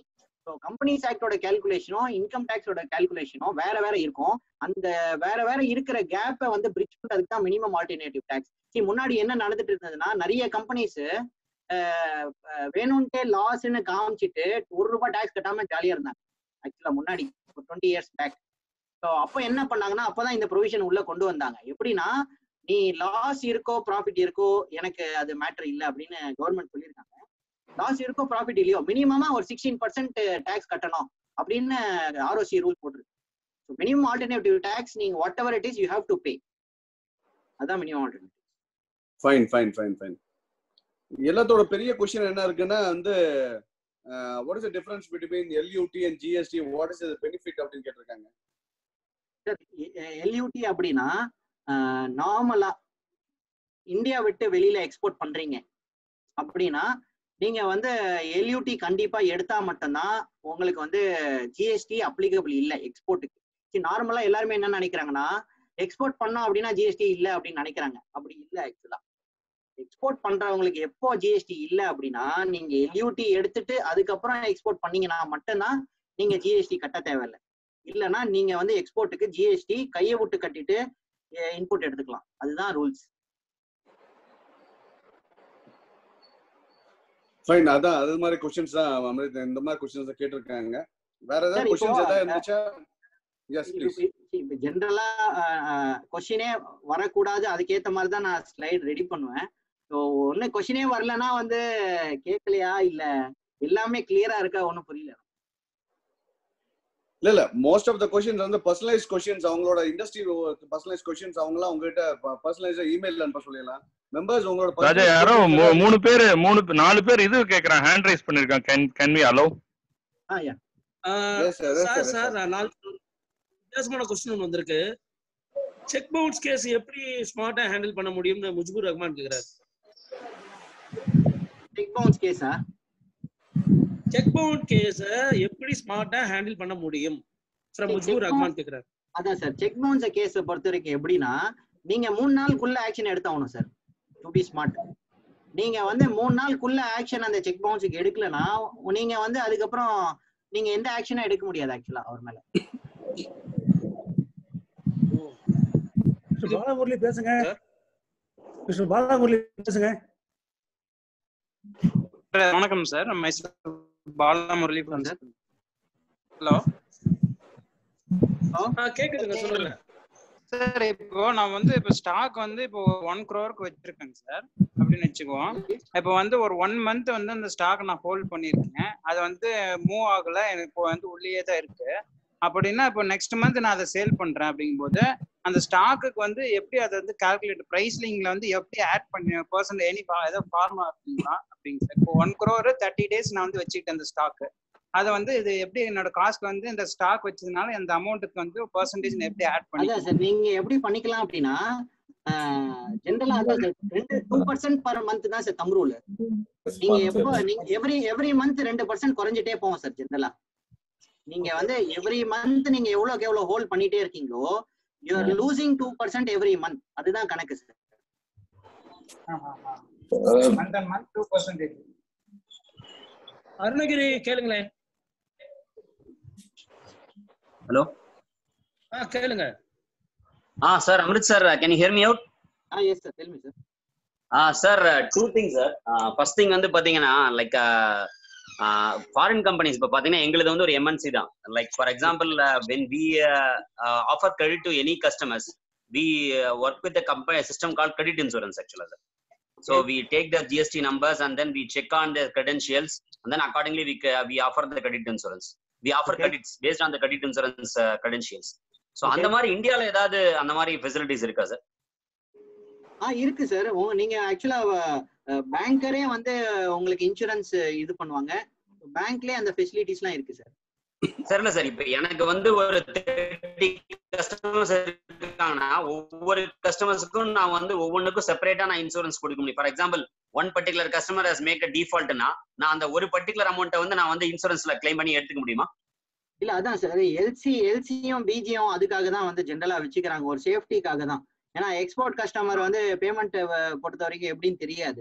Generally export transaction import transaction advisable to LC or BG and then do the transaction இல்ல sir I am not at all asking about export sir I am talking about the local transactions with in India sir oh with in India transaction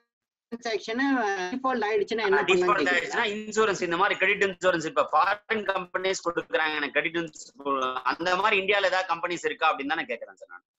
இல்ல sir insurance பத்தி எனக்கு idea இல்ல sir. Insurance I'm not aware payment வரலன்னா என்ன ஆல்டர்னேட்டிவ்லாம் இருக்கு? அது தெரியும். பட் இன்சூரன்ஸ் பத்தி I have no idea okay sir okay okay okay okay thank you sir thank you any other hand raise பண்றவங்க எனி ஒன் மைக் ஆன் பண்ணி பேசலாம் அன்மியூட் பண்ணி பேசலாம். மோகன் இருக்காரு மணிகண்டன் இருக்காரு மோகன். மோகன் முதல்ல இருந்து இருக்கார். மோகன் மோகன். பேசுங்க மோகன் பேசுங்க.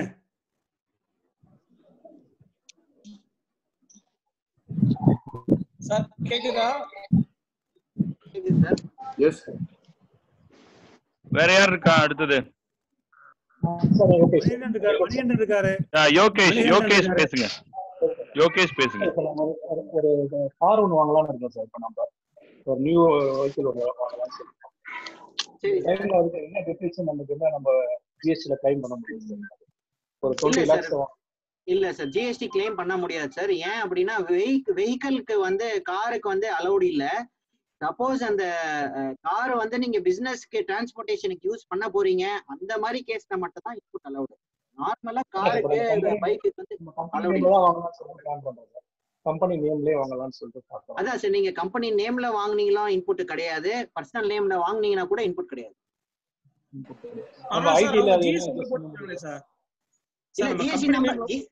ஜிஎஸ்டி நம்பர் போடுவாங்க கம்பெனி நேம் போடுவாங்க எல்லாமே போடுவாங்க. ஆனா ஜிஎஸ்டி ரூல்ஸ் பிரகாரம் input tax credit not allowed for car bike கிளியரா கொடுத்துருக்கு இல்ல நம்ம நான் நிறைய பர்ச்சேஸ் பண்றோம் நிறைய சேல் பண்றோம். ஆட்டோமேட்டிக்கா அது வந்து டாப் அப் ஆயிராதா? எப்படி தனியா அதை பிரிக்கிறது? நீங்க சொல்றீங்க இல்ல சார் இப்ப காருக்கு என்னோட ஓன் யூஸ் காருக்கு டயர் வாங்குறேன். என் கம்பெனி பேர் பார்க்க பேர்ல பில்லிங் வாங்குறேன். ஜிஎஸ் நம்பர் கொடுக்குறோம். ஆட்டோமேட்டிக்கா வந்து அது வந்து நம்ம ஜிஎஸ்டில வந்து இன்புட் கிரெடிட் ஆயிருது அது தனியா எடுத்து விடணுமா? இல்ல எப்படி சார் அது? ஆமா சார் நீங்க வந்து தனியா எடுத்து விடணும். அந்த இன்புட் நீங்க ஃபைல் பண்ணும் போது அந்த இன்புட்டை கன்சிடர் பண்ணக்கூடாது. டூ ஏல வந்து தெரியாம உட்காரலாம் ஆமா நீங்க டூ சார், ஏல தெரியா- தெரியாம எடுத்தா என்ன சார் பண்றது? தெரியாம எடுத்துட்டோம் அப்படின்னா எப்போ ஜிஎஸ்டி அத்தாரிட்டிஸ் பார்த்துட்டு எதா கேட்டாங்க இந்த மாதிரி பண்ணாங்கன்னா நம்ம வந்து என்ன டேட்ல எடுத்திருக்கீங்களோ அவங்க எப்போ கண்டுபிடிக்கிறாங்களோ அது வரைக்கும் இன்ட்ரெஸ்ட் சேர்த்து கட்டணும் நீங்க. சார். இன்னொரு விஷயம் சார்.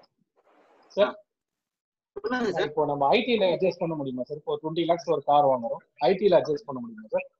ஐடில எவ்வளவு இருக்கோ அது அதான் சார். கம்பெனி நேம்ல நீங்க கார் வாங்குனீங்கன்னா நீங்க வந்து அதை பிக்சட் அசெட்டா காட்டலாம். அதோட டெப்ரிசியேஷன் நீங்க கிளைம் பண்ணலாம். செலவா கிளைம் பண்ணலாம். உங்களுக்கு ப்ராஃபிட் வந்து குறையும். ப்ராஃபிட் கம்மி. அதோட எக்ஸ்பென்ஸ் ஒரு தேர்ட்டி பர்சன்டேஜ் கட்ட எப்படி சார் கட்ட முடியும் இல்ல இல்ல சார். இது வந்து இல்ல சார். நீங்க full full full car value வந்து நீங்க அசெட்ல காமிச்சிக்கலாம். டெப்ரிசியேஷன் டுவெண்ட்டி பர்சன்ட் வந்து எக்ஸ்பென்சஸா வரும் ப்ராஃபிட் குறையும். ப்ராஃபிட் குறையும். தேங்க்யூ சார் ஒருத்தர் ஒருத்தர் வந்து மெசேஜ்ல போட்டிருக்காரு இந்த மாதிரி ஸ்பேர் பார்ட்ஸுக்கு அதுக்கெல்லாம் வந்து இன்புட் அலௌடு இவரு கேட்டது வந்து என்னன்னா வெஹிக்கிள் வெஹிக்கிள் வாங்கும் போது இன்புட் அலௌடா இல்லையான்னு கேட்டீங்க.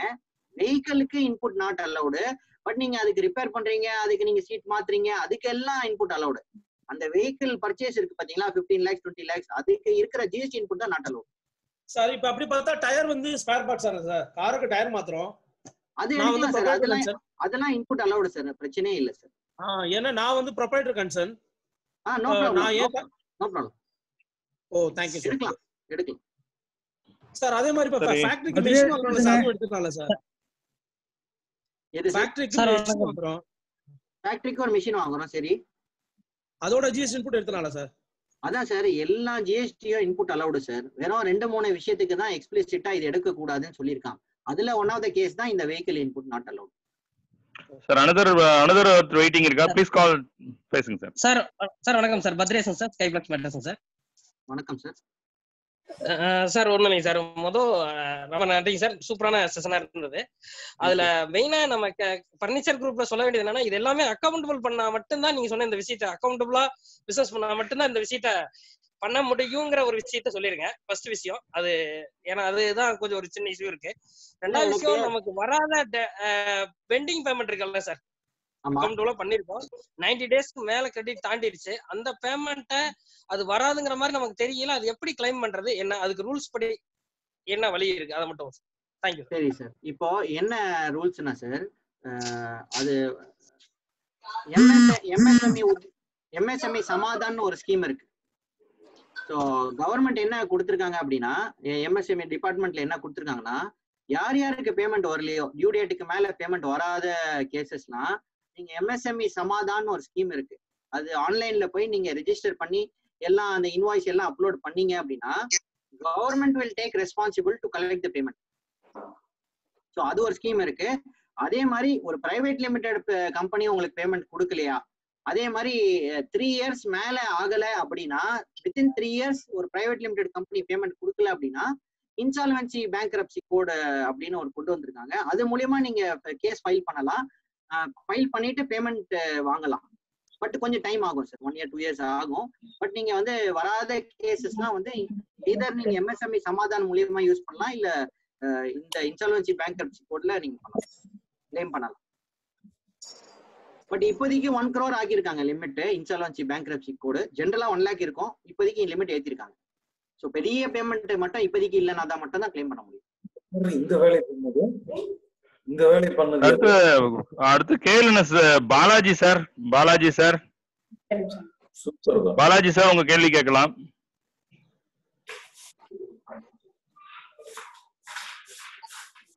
KLNS Balaji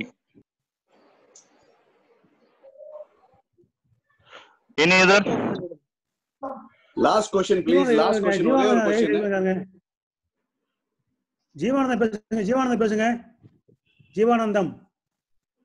பேசுறேங்க சார்.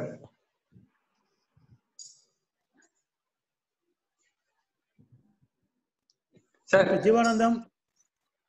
சார் ரயில்ல வந்துங்க சார். சார் கேள்வி கேளுங்க சார். நான் தமிழ்நாடு போலீஸ் டிபார்ட்மெண்ட் ஒர்க் பண்ணிட்டு இருக்கேங்க சார். தமிழ்நாடு போலீஸா இருக்கேங்க சார். இப்போ எனக்கு சின்ன ஒரு டவுட்னா இந்த ஷேர் மார்க்கெட் இல்லைங்க சார். ஷேர் மார்க்கெட்ல நம்ம ஆன்லைன்ல பிசினஸ் பண்ணலாமாங்க சார்? அதுக்கு டிபார்ட்மெண்ட்ல கவர்மெண்ட் ஜாப்ல இருந்து அது மாதிரி பண்ணலாமா இல்லை பண்ணக்கூடாது? அது மாதிரி சம்திங் டவுட் ஷேர் மார்க்கெட்ல ஒரு கவர்மெண்ட் எம்ப்ளாயி வந்து டீல் பண்ணலாமா இல்லையான்னு கேக்குறீங்களா? ஆ ஆமாங்க சார். சரி டீல் பண்ணலாம் சார் பிரச்சனை இல்ல. பட் அந்த கவர்மெண்ட் கம்பெனி ஜென்ரலா என்ன ரூல்ஸ் வச்சிருப்பாங்கன்னா அவங்க ரிலேட்டட் இண்டஸ்ட்ரியோ இல்ல அவங்க கம்பெனி இருக்கிற மாதிரி மத்த கம்பெனிலயோ நீங்க இன்வெஸ்ட் பண்ணக்கூடாது அப்படின்னு ரெஸ்ட்ரிக்ஷன் வச்சிருப்பாங்க. நீங்க உங்க அந்த எங்க ஒர்க் பண்றாங்களோ அந்த கம்பெனி கவர்மெண்ட் கம்பெனில கேட்டுட்டு அதுக்கப்புறம் இன்வெஸ்ட் பண்ணுங்க. பிரச்சனை இல்லை. சரி சார். அப்புறம் இன்னொரு டவுட்டுங்க சார். சொல்லுங்க சார்.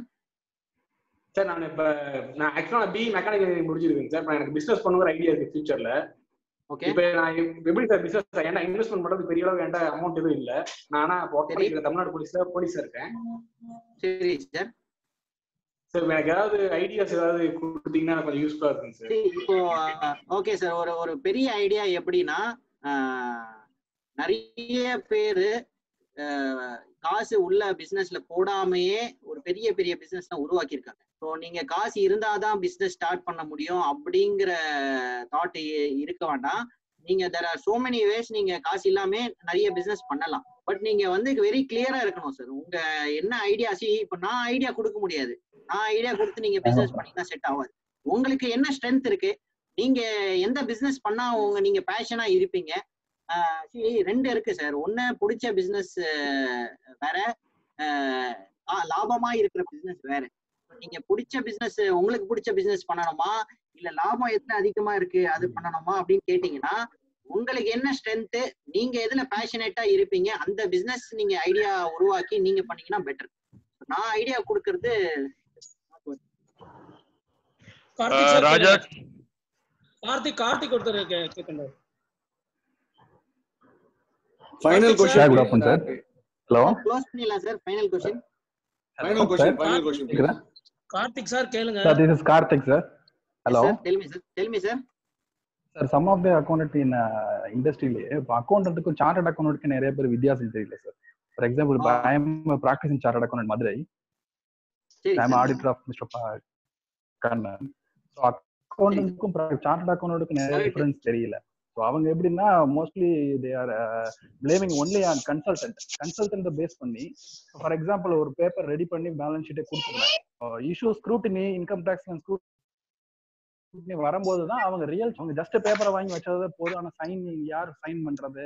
என்ன இஷ்யூ வருது? எதுவுமே அவங்க மட்டும் கொஞ்சம் டெஃபினெட்லி ட்ரூ சார் நிறைய பேருக்கு வந்து எப்படின்னா ஒரு ஒரு கன்சல்டன்ட் வந்து கம்மி காசுல வந்து இது எல்லாமே பண்ணி கொடுத்துறேன். அப்படின்னு வந்து எல்லாமே நான் பண்ணி கொடுத்துறேன்னு சொல்லுவாங்க. பட் ஆக்சுவலா அவரே என்ன பண்ணுவாருன்னா இன்னொரு ஆடிட்டர் கிட்ட போய் ஜஸ்ட் சைன் மட்டும் வாங்கிட்டு வந்துருவாரு. அந்த மாதிரி ஜென்ரலா அட்வைசபிள் இல்ல.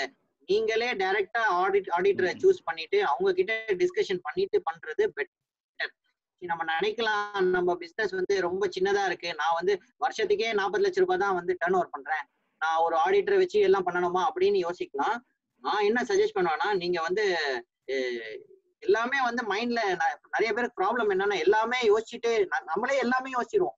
இது இப்படி நடக்கும் இது இப்படி பண்ணுவாங்க. இவர் என்ன என்ன சொல்லுவாரு தெரியல. ஆக்சுவலா எல்லாத்தையும் விட்டுட்டு நீங்க டைரக்டா போய் பேசி பண்றது பெட்டர் சார் எப்பவுமே. நிறைய டிஃபரன்ஸ் இருக்கு சார் நிறைய டிஃபரன்ஸ் இருக்கு. ஒரு நார்மல் அக்கௌண்டன்ட்டுக்கும் ஒரு சார்ட்டர்ட் அக்கௌண்டன்ட்டுக்கும் டெஃபினட்டா நிறைய டிஃபரன்ஸ் இருக்கு. It's not Thank you, sir. Before the closing, Bharani, can you tell the tomorrow session? Then we'll have a vote of thanks. So Barney has some issues. அதனால நான் சொல்லிடுறேன் நாளைக்கு என்ன session சொல்லிடுங்க. சொல்லிட்டு.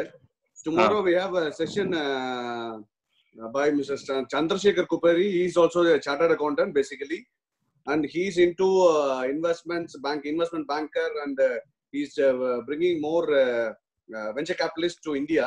Actually, venture capitalist மாதிரி ஒரு இதில் வந்து ஸோ ஹவு கேன் யூ இந்த மாதிரி இருக்கிற சுச்சுவேஷன்ல ஃபினான்ஷியல் சஸ்டன்ஸா உங்களுக்கு இருக்கா? கோவிட் நைன்டீன்ல இருக்கா? அதை பத்தி பேச போறாரு.